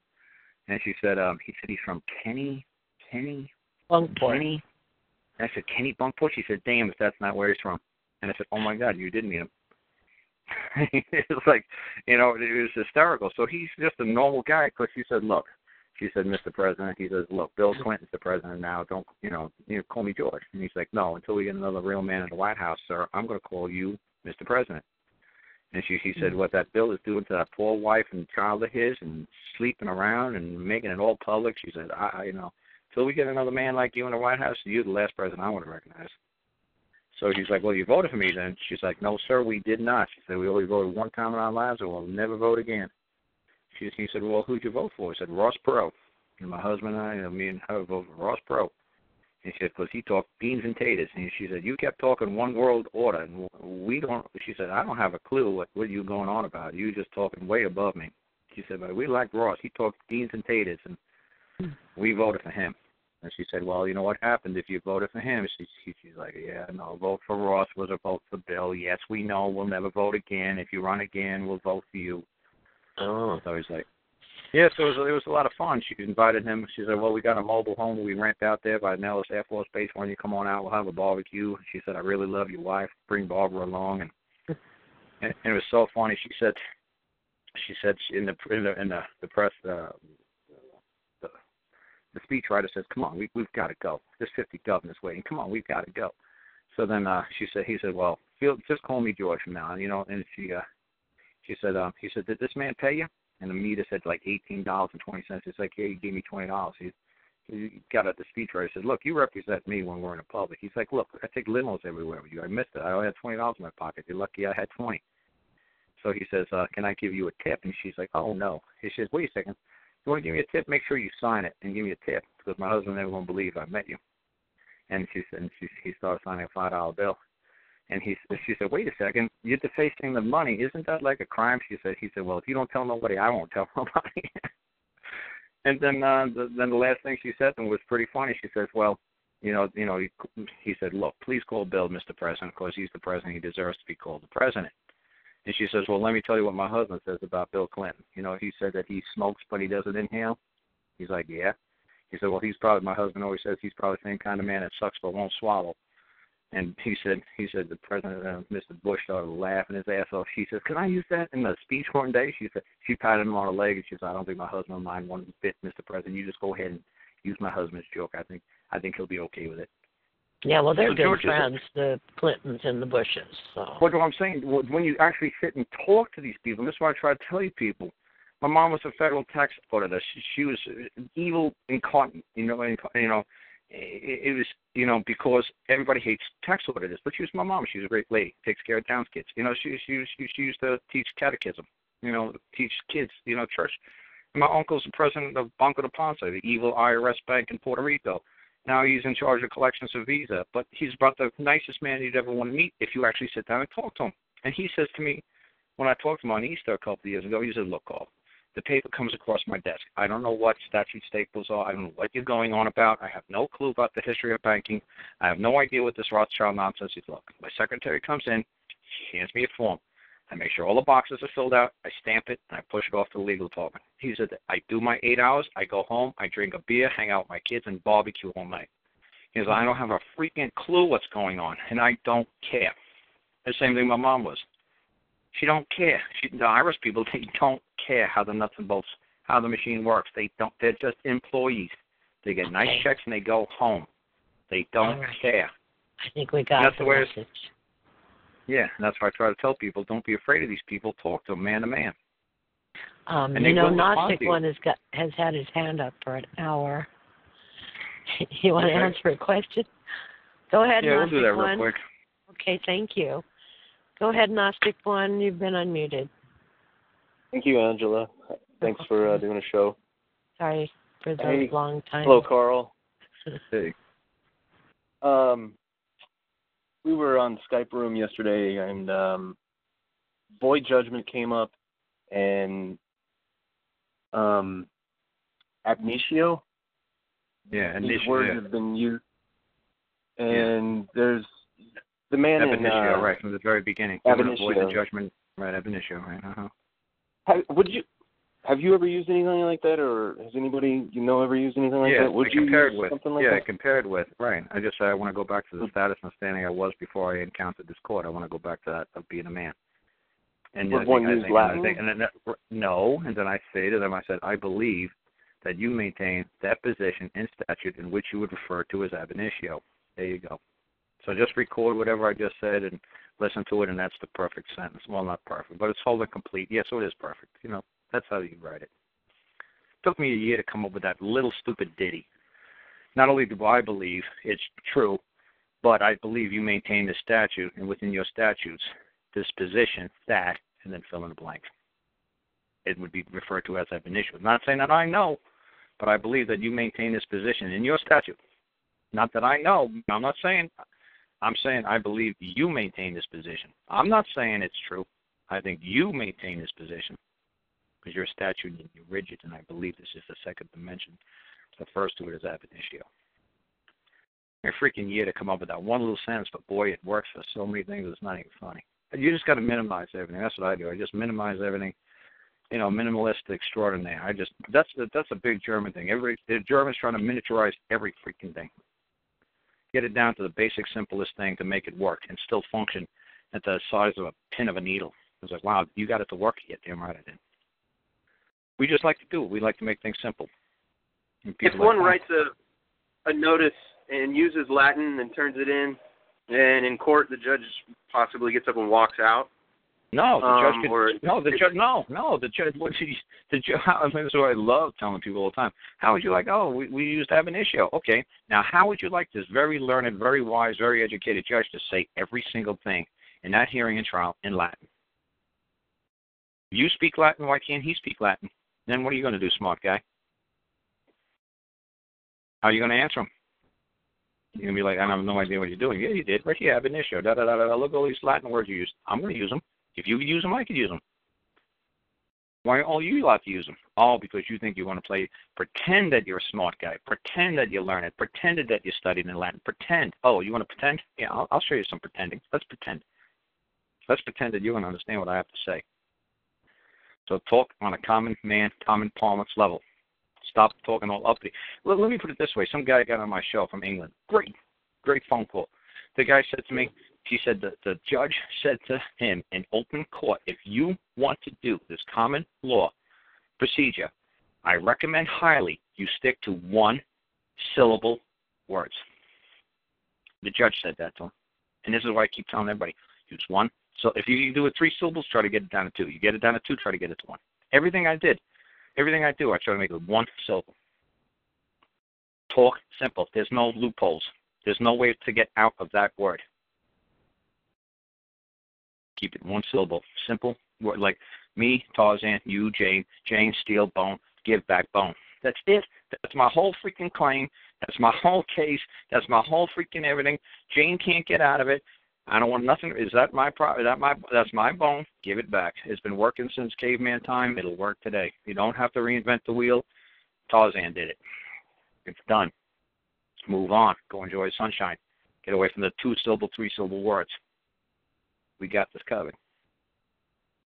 Thousands of years. You don't have to get creative. And that's what's killing you guys. And they see it. When you use two, three syllable words, they know you don't have a freaking clue what you're doing. Oh, you're going to try to talk uppity to me. Oh, we're word nerds. Oh, you want to cross words with us? Oh, you really? Let's play. Let's have a game. They're going to eat you for lunch. Talk like a man, and they'll know you're talking. They're meeting a man. How did God do the commandments? Thou shalt not kill. Thou shalt not steal. You know what did He say?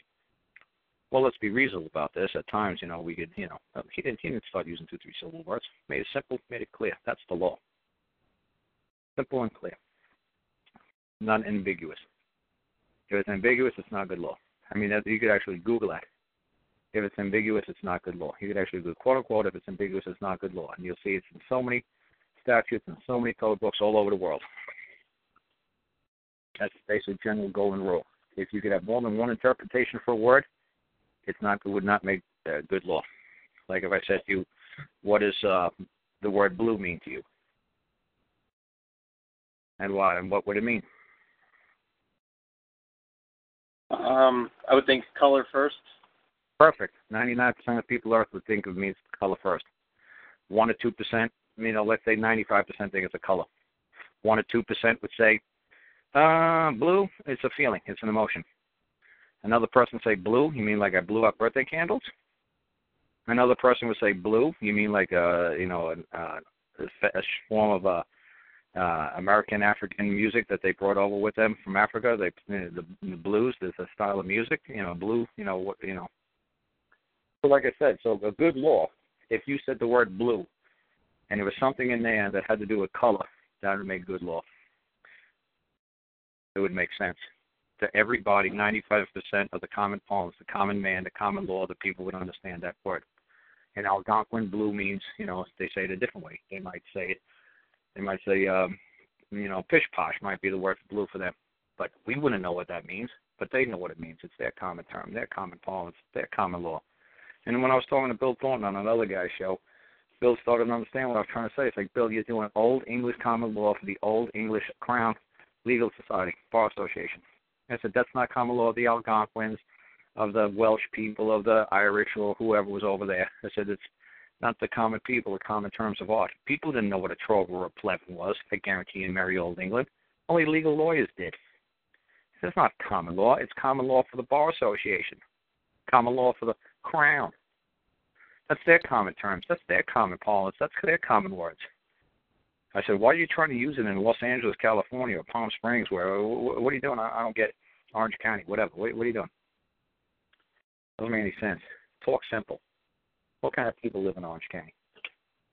Hey, Karl, thank you very much. Um, I want to say it's uh, awesome to hear. This is Mark in Atlanta, by the way. Um, hey, Mark, how you doing? It's awesome to hear.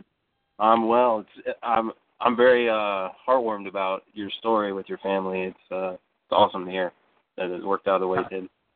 Yeah, you still can't hug me.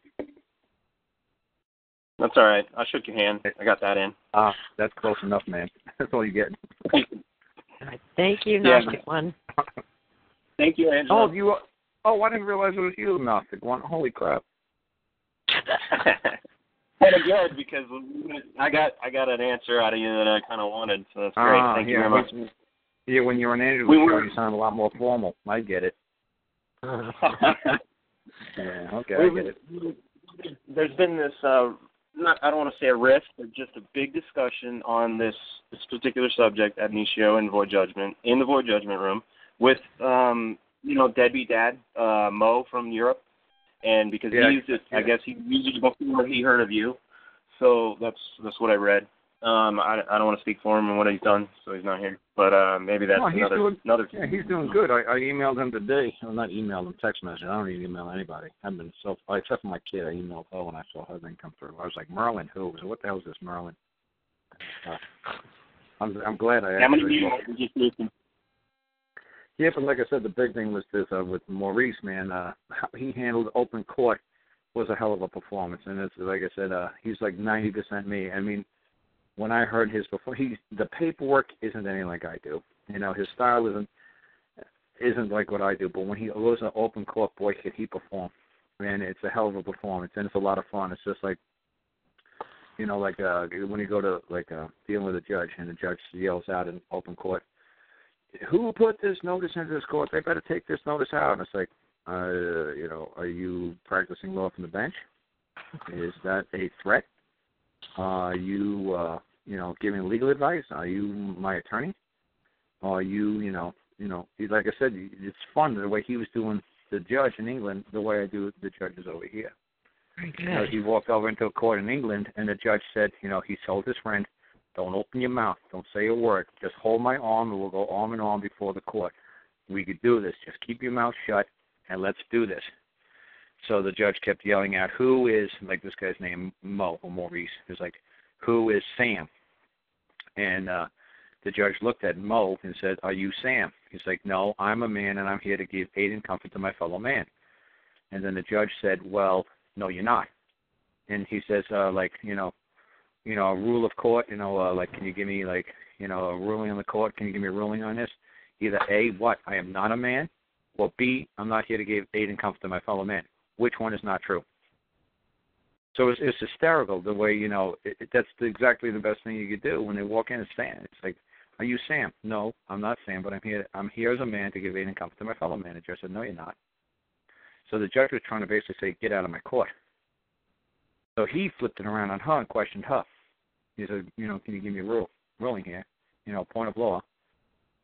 You know, a, am I not a man? Are you telling me I'm not a man? Or B, are you telling me I'm not here to aid and comfort my fellow man, which I clearly am?"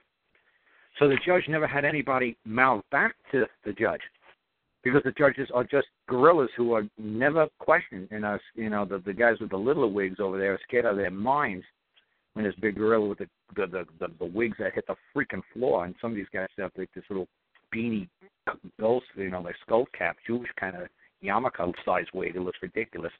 And these some of these judges, they got wigs that hit the freaking floor. I was like, oh, you know, what? Oh, I'm supposed to be intimidated because your wig is so big? Oh, this is ridiculous. But they are. They're intimidated. So when the big wig says something, the little wigs just all sit down and shut up. So he didn't sit down and shut up. You know, he actually questioned. And the big wig was like, holy cow, nobody's ever backsassed me. Nobody's actually, you know, said, you know, point of law, am I not a man? It was like, and that's like I said, what I do. And the judge goes bananas and says, you know, who wrote this notice? You know, they're practicing law without a, license. It's like, yeah, well, I don't think anybody in the state of Illinois has got a license to practice law. I guess you better ban every piece of paper that's been put in any case, you know, for the last 50 years because nobody's got a license to practice law in the state of Illinois.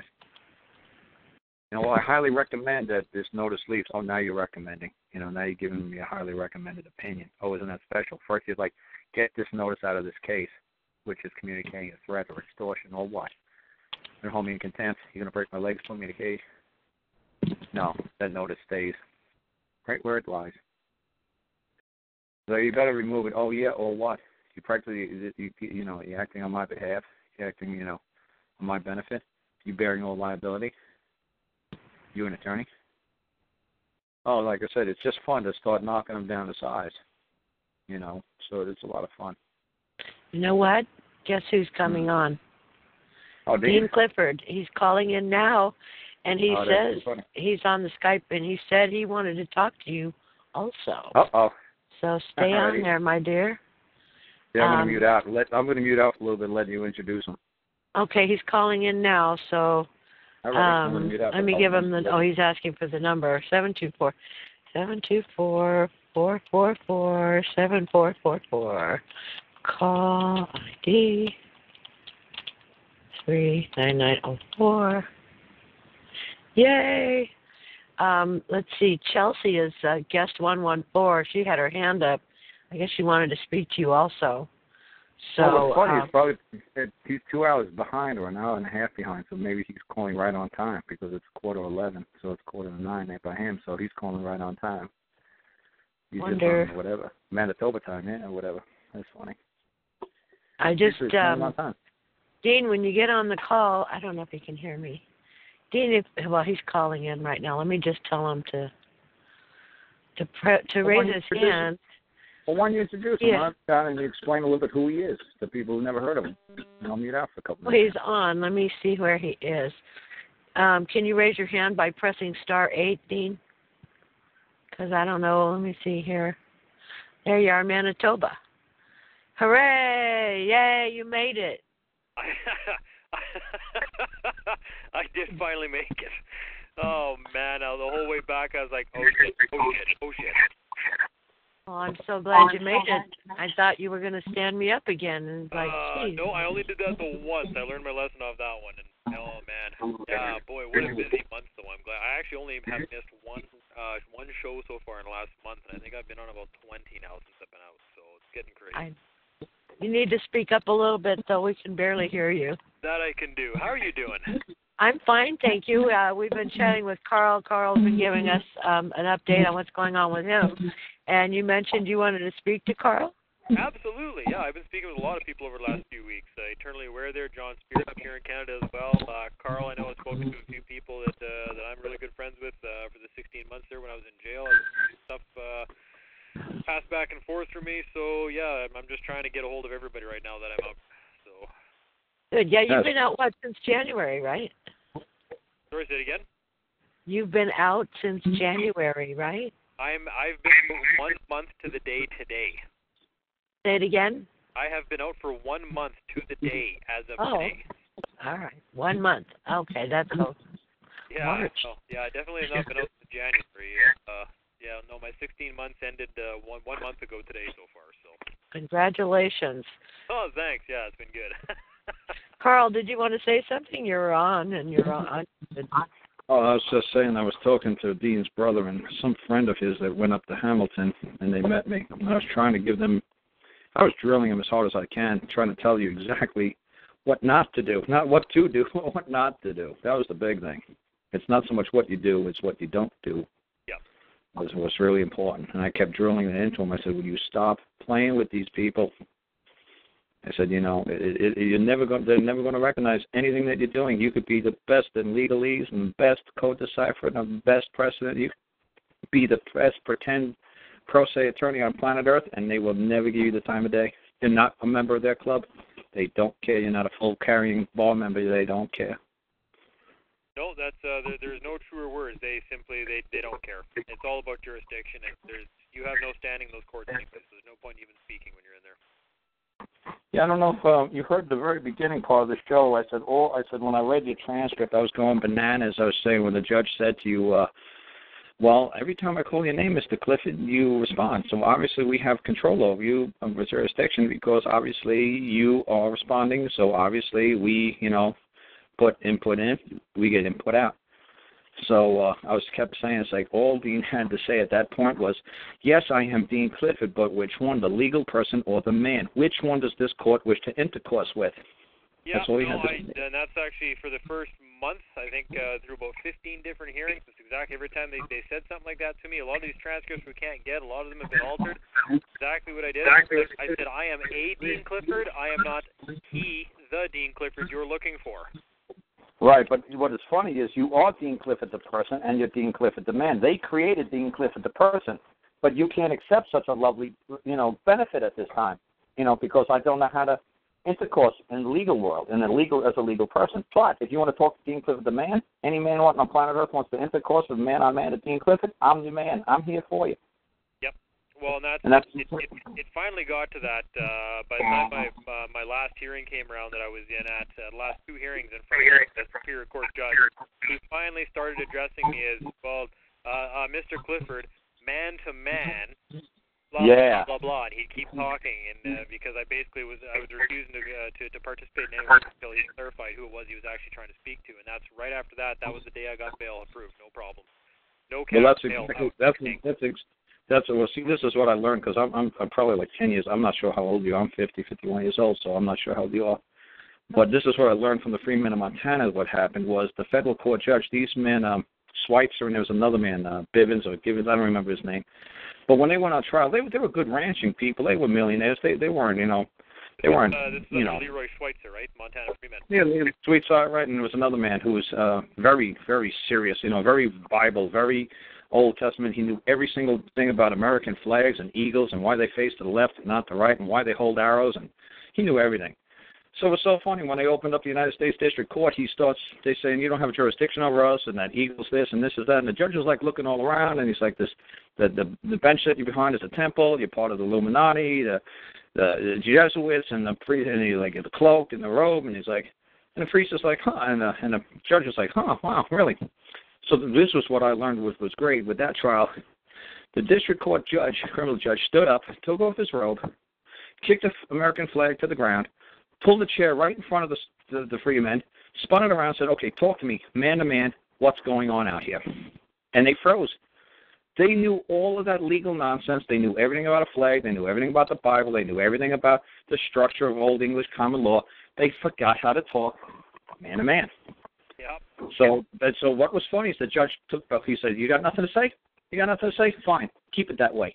You say one more damn thing about the Bible or anything, I'll have you gagged." So he got up, got on his robe. They started on with their spiel again, and they were just gagged for the rest of the trial. But they gave him a chance to speak man to man. But see, the, the poor Freeman and Montana guys didn't know that the judge was saying, "Okay, you want to evoke the common law? Let's do this. Talk to me man to man. What's going on? And let's see if we can work this out." Yep, you know, you know, he just entered common law when they take their robe off. It's uh, far from the first time I've heard of that happening and seen that happen now. So. Like I said, if they talk to you man to man, you got something going. Yep. Now, now you're in the proper jurisdiction, but uh, it's you don't expect it when it happens. Though sometimes I've noticed that, and you just all you're like you're prepared for a fight at the other, and all of a sudden you're in the proper one. You're like, oh man. Well, that's what I said. If, you, if all you evoked at the very first time, you didn't have to say this to common law. Said, look, yes, it is true. I, it is I, Dean Clifford, but the legal person that you, the Crown, created or for, for my benefit and for the other benefit of other citizens and of other persons of Canada, yes, lovely. Or the man, Dean Clifford. Now, I will accept, you know, the title and responsibility of a man causing any harm to his fellow man, and I'm here to compensate for anything wrong. Is any man going to be appear in this court in any near proceedings in which I get compensated for doing something wrong? I'm, I, I'll pay. I, I got the checkbook. I'm ready to go. How can we settle this? Yep. Tender me, tender me a proposal. Yep. No, So if you started with something like that, uh, if you started with something like that, it get would into have that been kind of over. stuff in the courtroom. Uh, there was there's the one hearing where I had my mic. Uh, they had me on camera, and the judge ordered the clerk to shut my microphone off so they couldn't hear me anymore. And then Yeah. proceeded as, as long as she could hear. Uh, the, you can see on the transcript. The clerk says, uh, or the court, the judge says, "Well, as long as he can hear us, I don't care. I don't hear him." There was Right. that one, and then there was five other hearings where I was actually grabbed by sheriffs and uh, and dragged out of the courtroom before I finished my Well, look- sentence.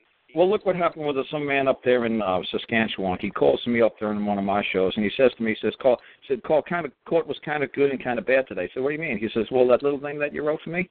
He's like, "Yeah." He said, "Well, I gave a copy to the Crown when I walked in, and I gave a copy to the judge." I said, "Yeah, what happened?" He said, "Well, the, ju- the Crown says we don't understand anything on this paper." He says, "All these words, they mean nothing to us." So then the judge says, "But I understand every single. I understand every single word." See, so I said to the man, "Do you not understand what's going on?" He says, "No." I said, "The judge understands you revoking the common law. The crown can't answer or the respond because those words, certain words like man, wrong, don't exist in their world. So they can't understand it. They can't move under those words. They can't answer it because if they did, they'd be disrobing themselves, they'd be uncloaking themselves, unmasking themselves, depersonalizing themselves, and they would have to be talking to you man to man, which they will never do because they'll bear full liability. I said, so I it worked out wonderful. Liability themselves personally. He didn't realize how wonderful it was that the prosecutor said, I cannot answer anything. I don't, these words are not known to me. I said, that's perfect. I said, dude, you, you won. He's like, what? Because there's nobody on the other side. You present a proposal or, you know, or you present an offer to them or, you know, like, I wish to do this and, you know, just tell me that. And nobody's ever going to answer. And it's just like what happened with Jason up in Canada. He's a great guy to get in touch with if you know Jason is out there in uh, Kelowna. He had Winston Shrout seminar. You, if you ever watched the Winston Shrout seminar in Kelowna, Jason is the one who got them all together. Well, when Winston went out there, they did the Winston process, and 571 of those folks got caught up with it. And Jason called me up not too long ago. He said, "Well, the Crown had to stay the 571 proceedings against us because of that simple question you asked them." You know, and he said it worked out great. He says it's been stayed indefinitely Yep. until they answered. They said to the court, the Crown said we cannot proceed at this time. We're going to have to stay the procedure indefinitely until we can provide an answer. They're never going to be able to answer it. They can't have. Like, whose property are we talking about? Is this my money? Whose property are we talking about? Just a simple question.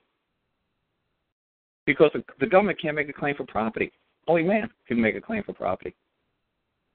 So they, they, their hands are tied. Because, like I say, because the only reason what man got together since caveman time, two man, you know, three man, five man, six man got together, not men. Men and man are not the same. When why man gets together is to secure and protect the property of each other's. So when this is the golden rule, this is like the mission statement of every government. I don't care where you are, people get together to secure and protect their property for their fellow man from foreign invaders. So when you go to the government, you just say, "Hey, I've got a claim. You know, my property's been stolen. It's been robbed. You know, have you found it? Do you know where it is? Can you know? Can you tell me where it is? Can you locate it for me? Can you track it down? Can you return it immediately?" And they will, because that's their mission statement. That's their whole agenda. It's supposed to be their job, yeah. and they do it because, like I said, go to uh, YouTube and go um, James uh, Daly Return of Birds or Birds of Prey, and he said this actually happened in Quebec. I told the, the man who had this, he brought a whole bunch of birds in, imported illegally, no vaccination, no paperwork, no nothing, and this was actually in Quebec. So I was wondering if it would work in Napoleonic as well. So go listen to Mr. Daly. He has got the biggest private zoo up there in Canada called uh, Lion African Safari over there in uh, north of Hamilton. And he's like, Karl, I went to with this man, and he accepted all the fines, all the penalties, all the fees, which you make a payment of a dollar a day for the next 10 billion years. It doesn't matter what the fines, penalties the Crown assesses upon you. So what? Accept it and pay a dollar because at the century, who cares? They, just want to see that the books balance. It doesn't matter to them if they actually physically get payments in full at one time, make payments. And then he said to the court in French, Oh, he says, yeah, by the way, I'm going to require the court to return my property immediately. And then the judge said to the Crown prosecutor, return this man's property. And then the prosecutor said, what? That's crazy. And the judge said, return the property forthwith. And then he, the man said that he, he then the prosecutor said, mm, okay. And he left the courtroom, and he said when the man left the courtroom, he said he heard the prosecutor and the judge just screaming at each other because the judge was like, "Hey, the guy said open sesame. That's the magic word." He said property. What? What? What do you want me to do? I, I'm, my hands are bound. Like Jesse and Jonathan, they got their four kids back because I told Jonathan. Uh, Je- Jonathan wouldn't listen to me. You know, he had this great big two-hour spiel he put before the court, but Je- Jesse did. I only worked with her for ten days. I said, "Do you know the lady who took your kid? Did you actually physically see somebody touch and trespass on your property? Yeah, good. Can you, when you walk into the court, point her out into the court and say that that woman robbed me of my property. And the judge I know is a mandated reporter. He has to report any time he hears a crime of murder or rape or anything in his courtroom during testimony. He's got to report it to either the local prosecutor or the sheriff's department. He's a, I've got a couple of friends who are judges. They're mandated reporters. So what's funny is the judge said, "Well, don't you care why she robbed you of your property? Because they had guns and drugs in the house, and you know the kids weren't being you know fed, and, you know in a proper manner according to the government." So uh, she said, "Why?" What? And I said, "Look, just tell the judge if I was raped. Why do I care why I was raped? I was wrong. Return my property immediately." And then the judge said, "Okay." Uh, just said that uh, the court will be in recess. And I was like, at five o'clock, they were told to leave. You know, come back at eight thirty tomorrow morning. They said they came uh, into the lobby at eight thirty in the morning at Queen's Bench in New Brunswick. Crown prosecutor walked out with a little, you know, two sentence ditty claim I gave and he said, Who wrote this? And she said, She did, because they got to write it in French on one side and English on the other. Said, Who wrote this? And she said, Well, obviously it's a woman's handwriting. Do you know what this means? And she said, It means you got to give me back my property. She said, Well, he's like, Yeah, it means that. But whoever wrote this, and she said on my show, she said, Tell him we're scared poopless. I said, He said poopless. It's like, Okay. He said, Can I curse? And she's like. Yeah. said, Tell him we're scared shitless. And when do you want your property? She said immediately, she said, Well, we scattered into the four corners of New Brunswick. We never intended on you people ever seeing these kids again. Can you give us till Friday before you start assessing a dollar a second payments for holding uh, the property in naked possession? She said, Yeah, we'll hold off on claim for, you know, naked possession. So they got back their kids. And it only took me 10 days, and plenty of parents called up my show and said, Jesus, Carlo, we did. Some lady in the Saskatchewan or Manitoba told another lady in either Saskatchewan or Manitoba, just go to the, the social services up there and just say you want your property back. The lady went up there. She she went to the the receptionist. The receptionist said, you know, have a seat, you like you crazy lady. Two hours later, they dropped it, gave it to the kid, and the, the kid they left. No paper, no nothing. Amazing what a, what a claim can do, eh? Property is the magic word. Yep. You know, because property is that which is proper to a man, exclusive of to all others within a society in which he may only use and enjoy for his own use. If anybody else's wishes to enjoy to use it, they must get his permission, or, or if they don't, it would be considered a trespass. Yep. It's that simple. And there's only two wrongs. I got that from Billy Thornton: trespass and trespass on a case. So once I put my case before the court, and the court clerks started to do the Jesse's case, because Jesse's case was like a two little sentence claim, they started saying this isn't the Arsenal Court, this is Queens Bench. I said we wrote it Arsenal Court at Queens Bench in Brunswick, and the court clerk said no, this is Queens Bench. It's like no, it's Jesse's court. It's the Arsenal Court. She's making a claim in this public building.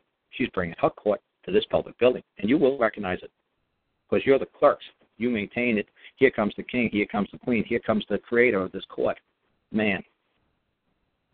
So, man, they flipped when they saw what we were putting into the court. So, so simple. We are the authority. Well, I like I said at the very beginning of my show, my kid was taken because he had Downs. I haven't seen my kids in seven years. So I finally seen them on St. Patrick's Day for the first time. I said to my mom, "What's it been like five years? I've been, you know, away." She said it's seven. And I don't even know what they look like. I said, Can you point them out? They're in church. I said, There's 12 kids here. Can you point them out? She said, The tall one and the long haired one. I said, Holy cow, they grew. So, like I said, I dedicated myself big time to this just to try to get my kids back from the government. And then once I'm, you know, started, I got my kids back. I said, let me see if I could help others. It's, And uh, it's, I'm, I'm very property. lucky. That's all it is. It's all property. It's all property. Thank God for John Locke. You know, I mean, I could I could refer back where I've gotten all my stuff from. And like I said, if you go to my website, it's uh, uh broadmind.org. Some I got very lucky that some uh, nice man who looks like George Foreman, big guy from Texas, Larry. He uh, sent me a letter from Ohio, a court in Ohio, and it said that you know he said these women are fantastic at writing legal documents, and the judge simply wrote to them, "Thank you for your." Um, petition to the court or motion before the court, but we cannot grant it at this time, even though you have many numerous and uh, legal conclusions, which may be like true or accurate. We see nowhere within the state of Ohio where it's recorded that you're an attorney, so at this time we're going to have to deny you. So no matter how good you are at their game, they're going to always say, you could study that nonsense for years. I could have probably been one of the best attorneys in the United States. I studied that stuff like you got no freaking idea. You should see my original lawsuits, like 300 freaking pages. It was insane. And I tell people where to find it on Pacer. I said, "You want to see insanity? Go look at my first lawsuits back in 2000, like one. Go take a look." And then 2003, they they draw calmed you to play me. that game, they can do whatever they want. Right. So no matter how dedicated you are, it's a joke. And like I said, one of the best phone calls I ever got, I said to these folks earlier, was over in England. Some man called me up and he says, Karl, he said, the judge very clearly said that if you want to play the common law game, I highly recommend that you keep it to one syllable words. And that's coming out of the judge's mouth. And this is what I say every time on my show. If you could do it in three syllables, do in two. If you do in two, do in one. Never use Latin because they could respond to you in kind. Every single thing that they could talk to you now in court, if you use a Latin word like ab initio, how would you like it if every single other word that came out of their mouth was in Latin? You want to be a smart guy? Oh, we'll be smart. You want to play? Let's play. We'll we'll, we'll cross words. everything they're saying. Oh, they'll destroy you. Talk like a man, because no other man will appear. Call them out, man to man. They have to appear as a man. You can invoke the common law. You have the right as man that created that court. Man is the creator of these courts. Public servants didn't create these courts. Man, you're a man, they Yeah. have to be something of equal weight, something equal value. Yeah. They have to. Well, you don't. Ha- you you have a duty and obligation to your fellow man. You're not sovereign. Only God's sovereign. Only God has the ca- capacity to ignore the law. God is impervious to law. God could walk through walls. I can't. I can't levitate. I can't grab. I I I am bound by law. Natural law, nature's law. I'm bound by law. I'm not sovereign, but I am a man. I'm in the image of God. You know, since you know, so as far as I'm concerned, I'm the creator of Frankenstein. I'm the creator of these courts. I'm the creator of the public servants. I'm the creator of the governments. Man is the creator of all this. God created man, man created everything else. The word sovereign, I think it's just generally understood. They mean sovereign under God, which means still answer to Him. Well, like I said, that like I said, I actually because I was hearing a lot of people using the word sovereign, and sovereign was something that basically says that is possesses godlike qualities or is not bound by law, and God's not bound by law. I am. So to me, I'm not You're, sovereign you're by law. sovereign of whatever you create. Sovereign Yeah, you, you, right. You would have the capacity to rule over it, to have godlike qualities. But for me to call myself sovereign when I actually know there is another sovereign would kind of be a mockery. Do you, are you sovereign over the what you create? Yes. Are you sovereign? No. But you know what I'm saying. So I try not to use that word. Yes, I'm sovereign over what I create. I just say, look, I'm very happy to accept the title of that of a man. Is there any other man who's going to come forth and make a claim I've done anything wrong? What higher title could there be other than God?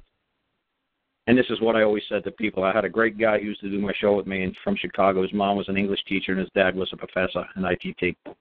So what was funny is I said to him, Can you please explain to these people when you use an adjective how you diminish the capacity of a noun? When you say first the word I, that's just in the image of God, the lowercase I, you know, this that's the image of God. One, God. Man comes after that. You could stop right there. Or like I do, I put a lot in the four corner brackets. I can put my name in there, so people know how to refer that man to as Colette. But it's a four corner bracket. It means it's there, but it's not there on paper. It's just for your convenience and my convenience, so we could communicate with each other instead of calling each other, "Hey man, hey man." You call me Collins. But once you start putting down plaintiff, defendant, U.S. Marine, ex-felon, dad, son, you're diminishing the capacity of that of being a man. Why didn't you just hold the status and the, and the title of man? Why did you reduce yourself to son or uncle or where you're showing there's duties and obligations to other family members? It's none of their damn business. The only thing they need to know is that you're a man. That's all they need to know. Or And you only have a duty. You only have a duty and obligation or to your fellow man. Or you it to something. Oh, you what? The more you try to define something, the more you confine it to something. You diminish it more That's right. you try to describe That's it right. more. Right. A man is unlimited in his capacity. So once you start putting that I am a member of a family, ah, well then I have duties and obligations to brothers, sisters, aunts, uncles. He, you know, so like I said, I'm diminishing my status. So right now I'm just saying I, a man, and I'll put the full corner brackets, Karl Lentz. That's it. Uh, It's just like And that's- that's- people that do saying I am. Yeah, I am. But like I said, after that I like diminishes it. If you start listing all the things you are, then you confine it to what you list, and you remove everything you haven't specifically listed. Where if you leave it just I am, Well, the only thing about the, the other way I look at it, saying I am, is like basically it's almost like a godlike quality because I to me is God. It's the symbol of one, the symbol of God. We all come from the one. So if you just say I am, it's basically to me saying you almost like think you believe that you have a godlike quality that you are I. And to me, God is I. That's just my personal opinion. I'm saying I'm not trying to convince you. I'm just trying to say this is the way I've looked at it, and uh, you know, and this is the way it seems to work really well what I write for court. Like I said, when we did that in England, I wrote a, the, probably the shortest lawsuit, the shortest claim in English history. It says, I, a man, and then a four corner bracket, Balraj Mann, claim wrong, trespass, see Exhibit A. And that was it. There was eight freaking words. And I said to the court, I did it right there at the counter because the smart ass guy that I brought there was taking me around London to take photos. I said, "Look, dude, why don't we just go to court? Take, you know, we'll take photos later. Let's just, oh, we got plenty of time. It's open till five. No, it's only open till four thirty. When he got there with a briefcase, he had his son's briefcase for school, like drawings and coloring. I said, "Where's your claim?" His claim was like fifty, wor- you know, fifty lines long, thousands of words. But that's the best you could do. He said that's the shortest you could do it in five weeks work with me. Said, okay. I said, you got to stand behind every single word in that claim, and if you get to utter it in open court, you have to get it word for word correct. You can't deal novate if you get something wrong, but go ahead. If that's the best you could do, do it. So then he, he had two minutes, and he's like, oh my God, I got the wrong briefcase. I said, that's okay. Ask this lovely lady, nice African lady, you know, ask her for a pen, paper, and, you know, and ask her how much time we got. Two minutes? We can do this. I said, whose court is it? It's your court. It's going to be your court. You're pull the man court. His name was Man, M-A-N-N, court. Where? Where do you want to hold it? At Queen's Bench. Okay, now, what's your name? Balraj Mann here by the top. You're the prosecutor, right? Okay. You're you're the prosecutor. And who's the man underneath you? Barry Rose, right? Okay. He's the wrongdoer. Okay. And now put it on the side of the caption where you put trespass. What did he do? Breach of enclosure. The cop came onto your property, right? Okay, he breached an enclosure. said, okay, now write the claim. It was funny. He was watching the clock. I said, don't watch the clock. We still got like 87 seconds. We got plenty of time for this. Write your claim out. He was like, why? I said, write your claim. I said, what? Did he do you wrong? Yeah. What did he do? He did a trespass. Say, I, a man, Balraj Mann, four corner bracket, claim wrong trespass. See Exhibit A. And I said, that's it. And I said, Exhibit A could fill this building. Exhibit A could be the size of a tractor trailer. It doesn't matter. But on your Exhibit A is actually going to be the policeman's report saying how he crossed over the gate of the neighbor, crossed over your hedgerow, came across your farm, took photos. Your Exhibit A is going to be the cop's testimony. Okay? So I said to the lovely lady behind the counter, she had a hand on his iron gate ready to slam it down on our face. I said, ma'am, is this a proper claim? Is this a lawsuit? She said, absolutely. And I said, can you please stamp it? And she said, but you got to go across the hallway and pay for it. I said, we'll do that, ma'am, not a problem. And, uh, and it was done. Eight words. I guarantee you it's the shortest lawsuit, shortest claim in English history. It's that simple. There's nothing amazing about this. And yeah, and, and we, we prevailed in court on, uh, you could see that on court, uh, on YouTube, uh, Brian Gerrish show, uh, UK column, December 17th, 2013. If you Google it, you'll see how we explain how uh, you'll see the man, uh, the Punjabi, the Indian man, comes on before me for about a half an hour. Then I explain, you know, to uh, Brian Gerrish what I did in court. It's just so simple, it's scary. I said, you know, we we appeared as a person because it was so funny. This poor guy, he studied with me for five weeks. I was over there in England and Angel kept saying me, saying, "Oh, you seen the London Tower of London, the Kevin Key with the Queen?" I said, "No, I'm looking at a cement factory in a, in a hotel room because this guy is trying to learn how to walk into court and kick ass." The very first thing he he learned was like he, he like tricks when you go into court. Well, the judge says this and do this, and the judge says that and do this. I said, "This is not pull the next trick out of you know." And all he kept doing was pulling the rabbit out of the hat. Three times in a row, pulled the rabbit out. The judge kept saying, "Is the person known as da da da before the court?" And he says, "I'm a man." He said, "Is the person known as Balraj Manipur? I'm a man. Is the is the person known as He said, "Well, if the, if the person will not appear today, we will reschedule this for six months." And I said, "Oh no, I am not coming back to Maryland, England." So I jumped up from the gallery and I said, "May I assist this court?" Because the person at whom this court seeks, Balraj Mann, is present before this court today. And and he looked at me. He's like, "What? You throw me under the bus, dude?" I said, "Look, I am not coming back to England in six months. I am not doing this. I'm done with England." And the court clerk lady walked over to me and says, How may you assist the court? I said, The person known as Balraj Mann is before the court. I said, The only problem is a person is a man, but according to his duty and his rank within the society, they may impose upon him if he fails to perform his duty. He's derelict in his duty. He is a person, but fortunately for me, he's brown. So fortunately for me, he's Punjabi. So he is a person within the Punjabi culture and person within the Punjabi society. He is not an Englishman. He, has, he is not a member of the Crown. He has no duty and obligation as a Crown person. He is not any personage to the Crown Society. And I will prove that in court, that the person that you seek is before the court, but he is not a person which you have jurisdiction authority over. No, it's just a, it's a class of person. That's all this is all about. It's classes of person, period. It's what, what, what per, the person is a member of a society, but which society? Yep. And That's the whole trick. Clarify that, so we leave everything open to their their speculation. So I right. So when I was right, so that's, that's how I got to sit next to him in an open court, because they said the judge then said, "Present yourself to the court." I said, "He said, what's your name?" I said, "My name is Karl Lentz." He said, "How do you spell it?" L E N T Z. He said, "So Karl Lentzy." I said, "Okay, L E N T Z. Okay, Z, not Z. Z. It's all Karl Lentz." He says, "And what what makes you believe that you have any uh knowledge or any, uh, you know, that would aid and assist this court. I said, well, I come from the United States and I wrote a law dictionary and I do a little law show on my own. He says, uh, any word that you want me to help interpret for the court, I'll be more than glad to assist, like the word known as person. The court seemed to have difficulty defining the word person. So I think everybody knows the word is crystal clear now what a person is. I said, I think we can proceed. He says, uh, I wish to be his next friend. And the judge says, I don't understand that term. And the Crown prosecutor said, it's called a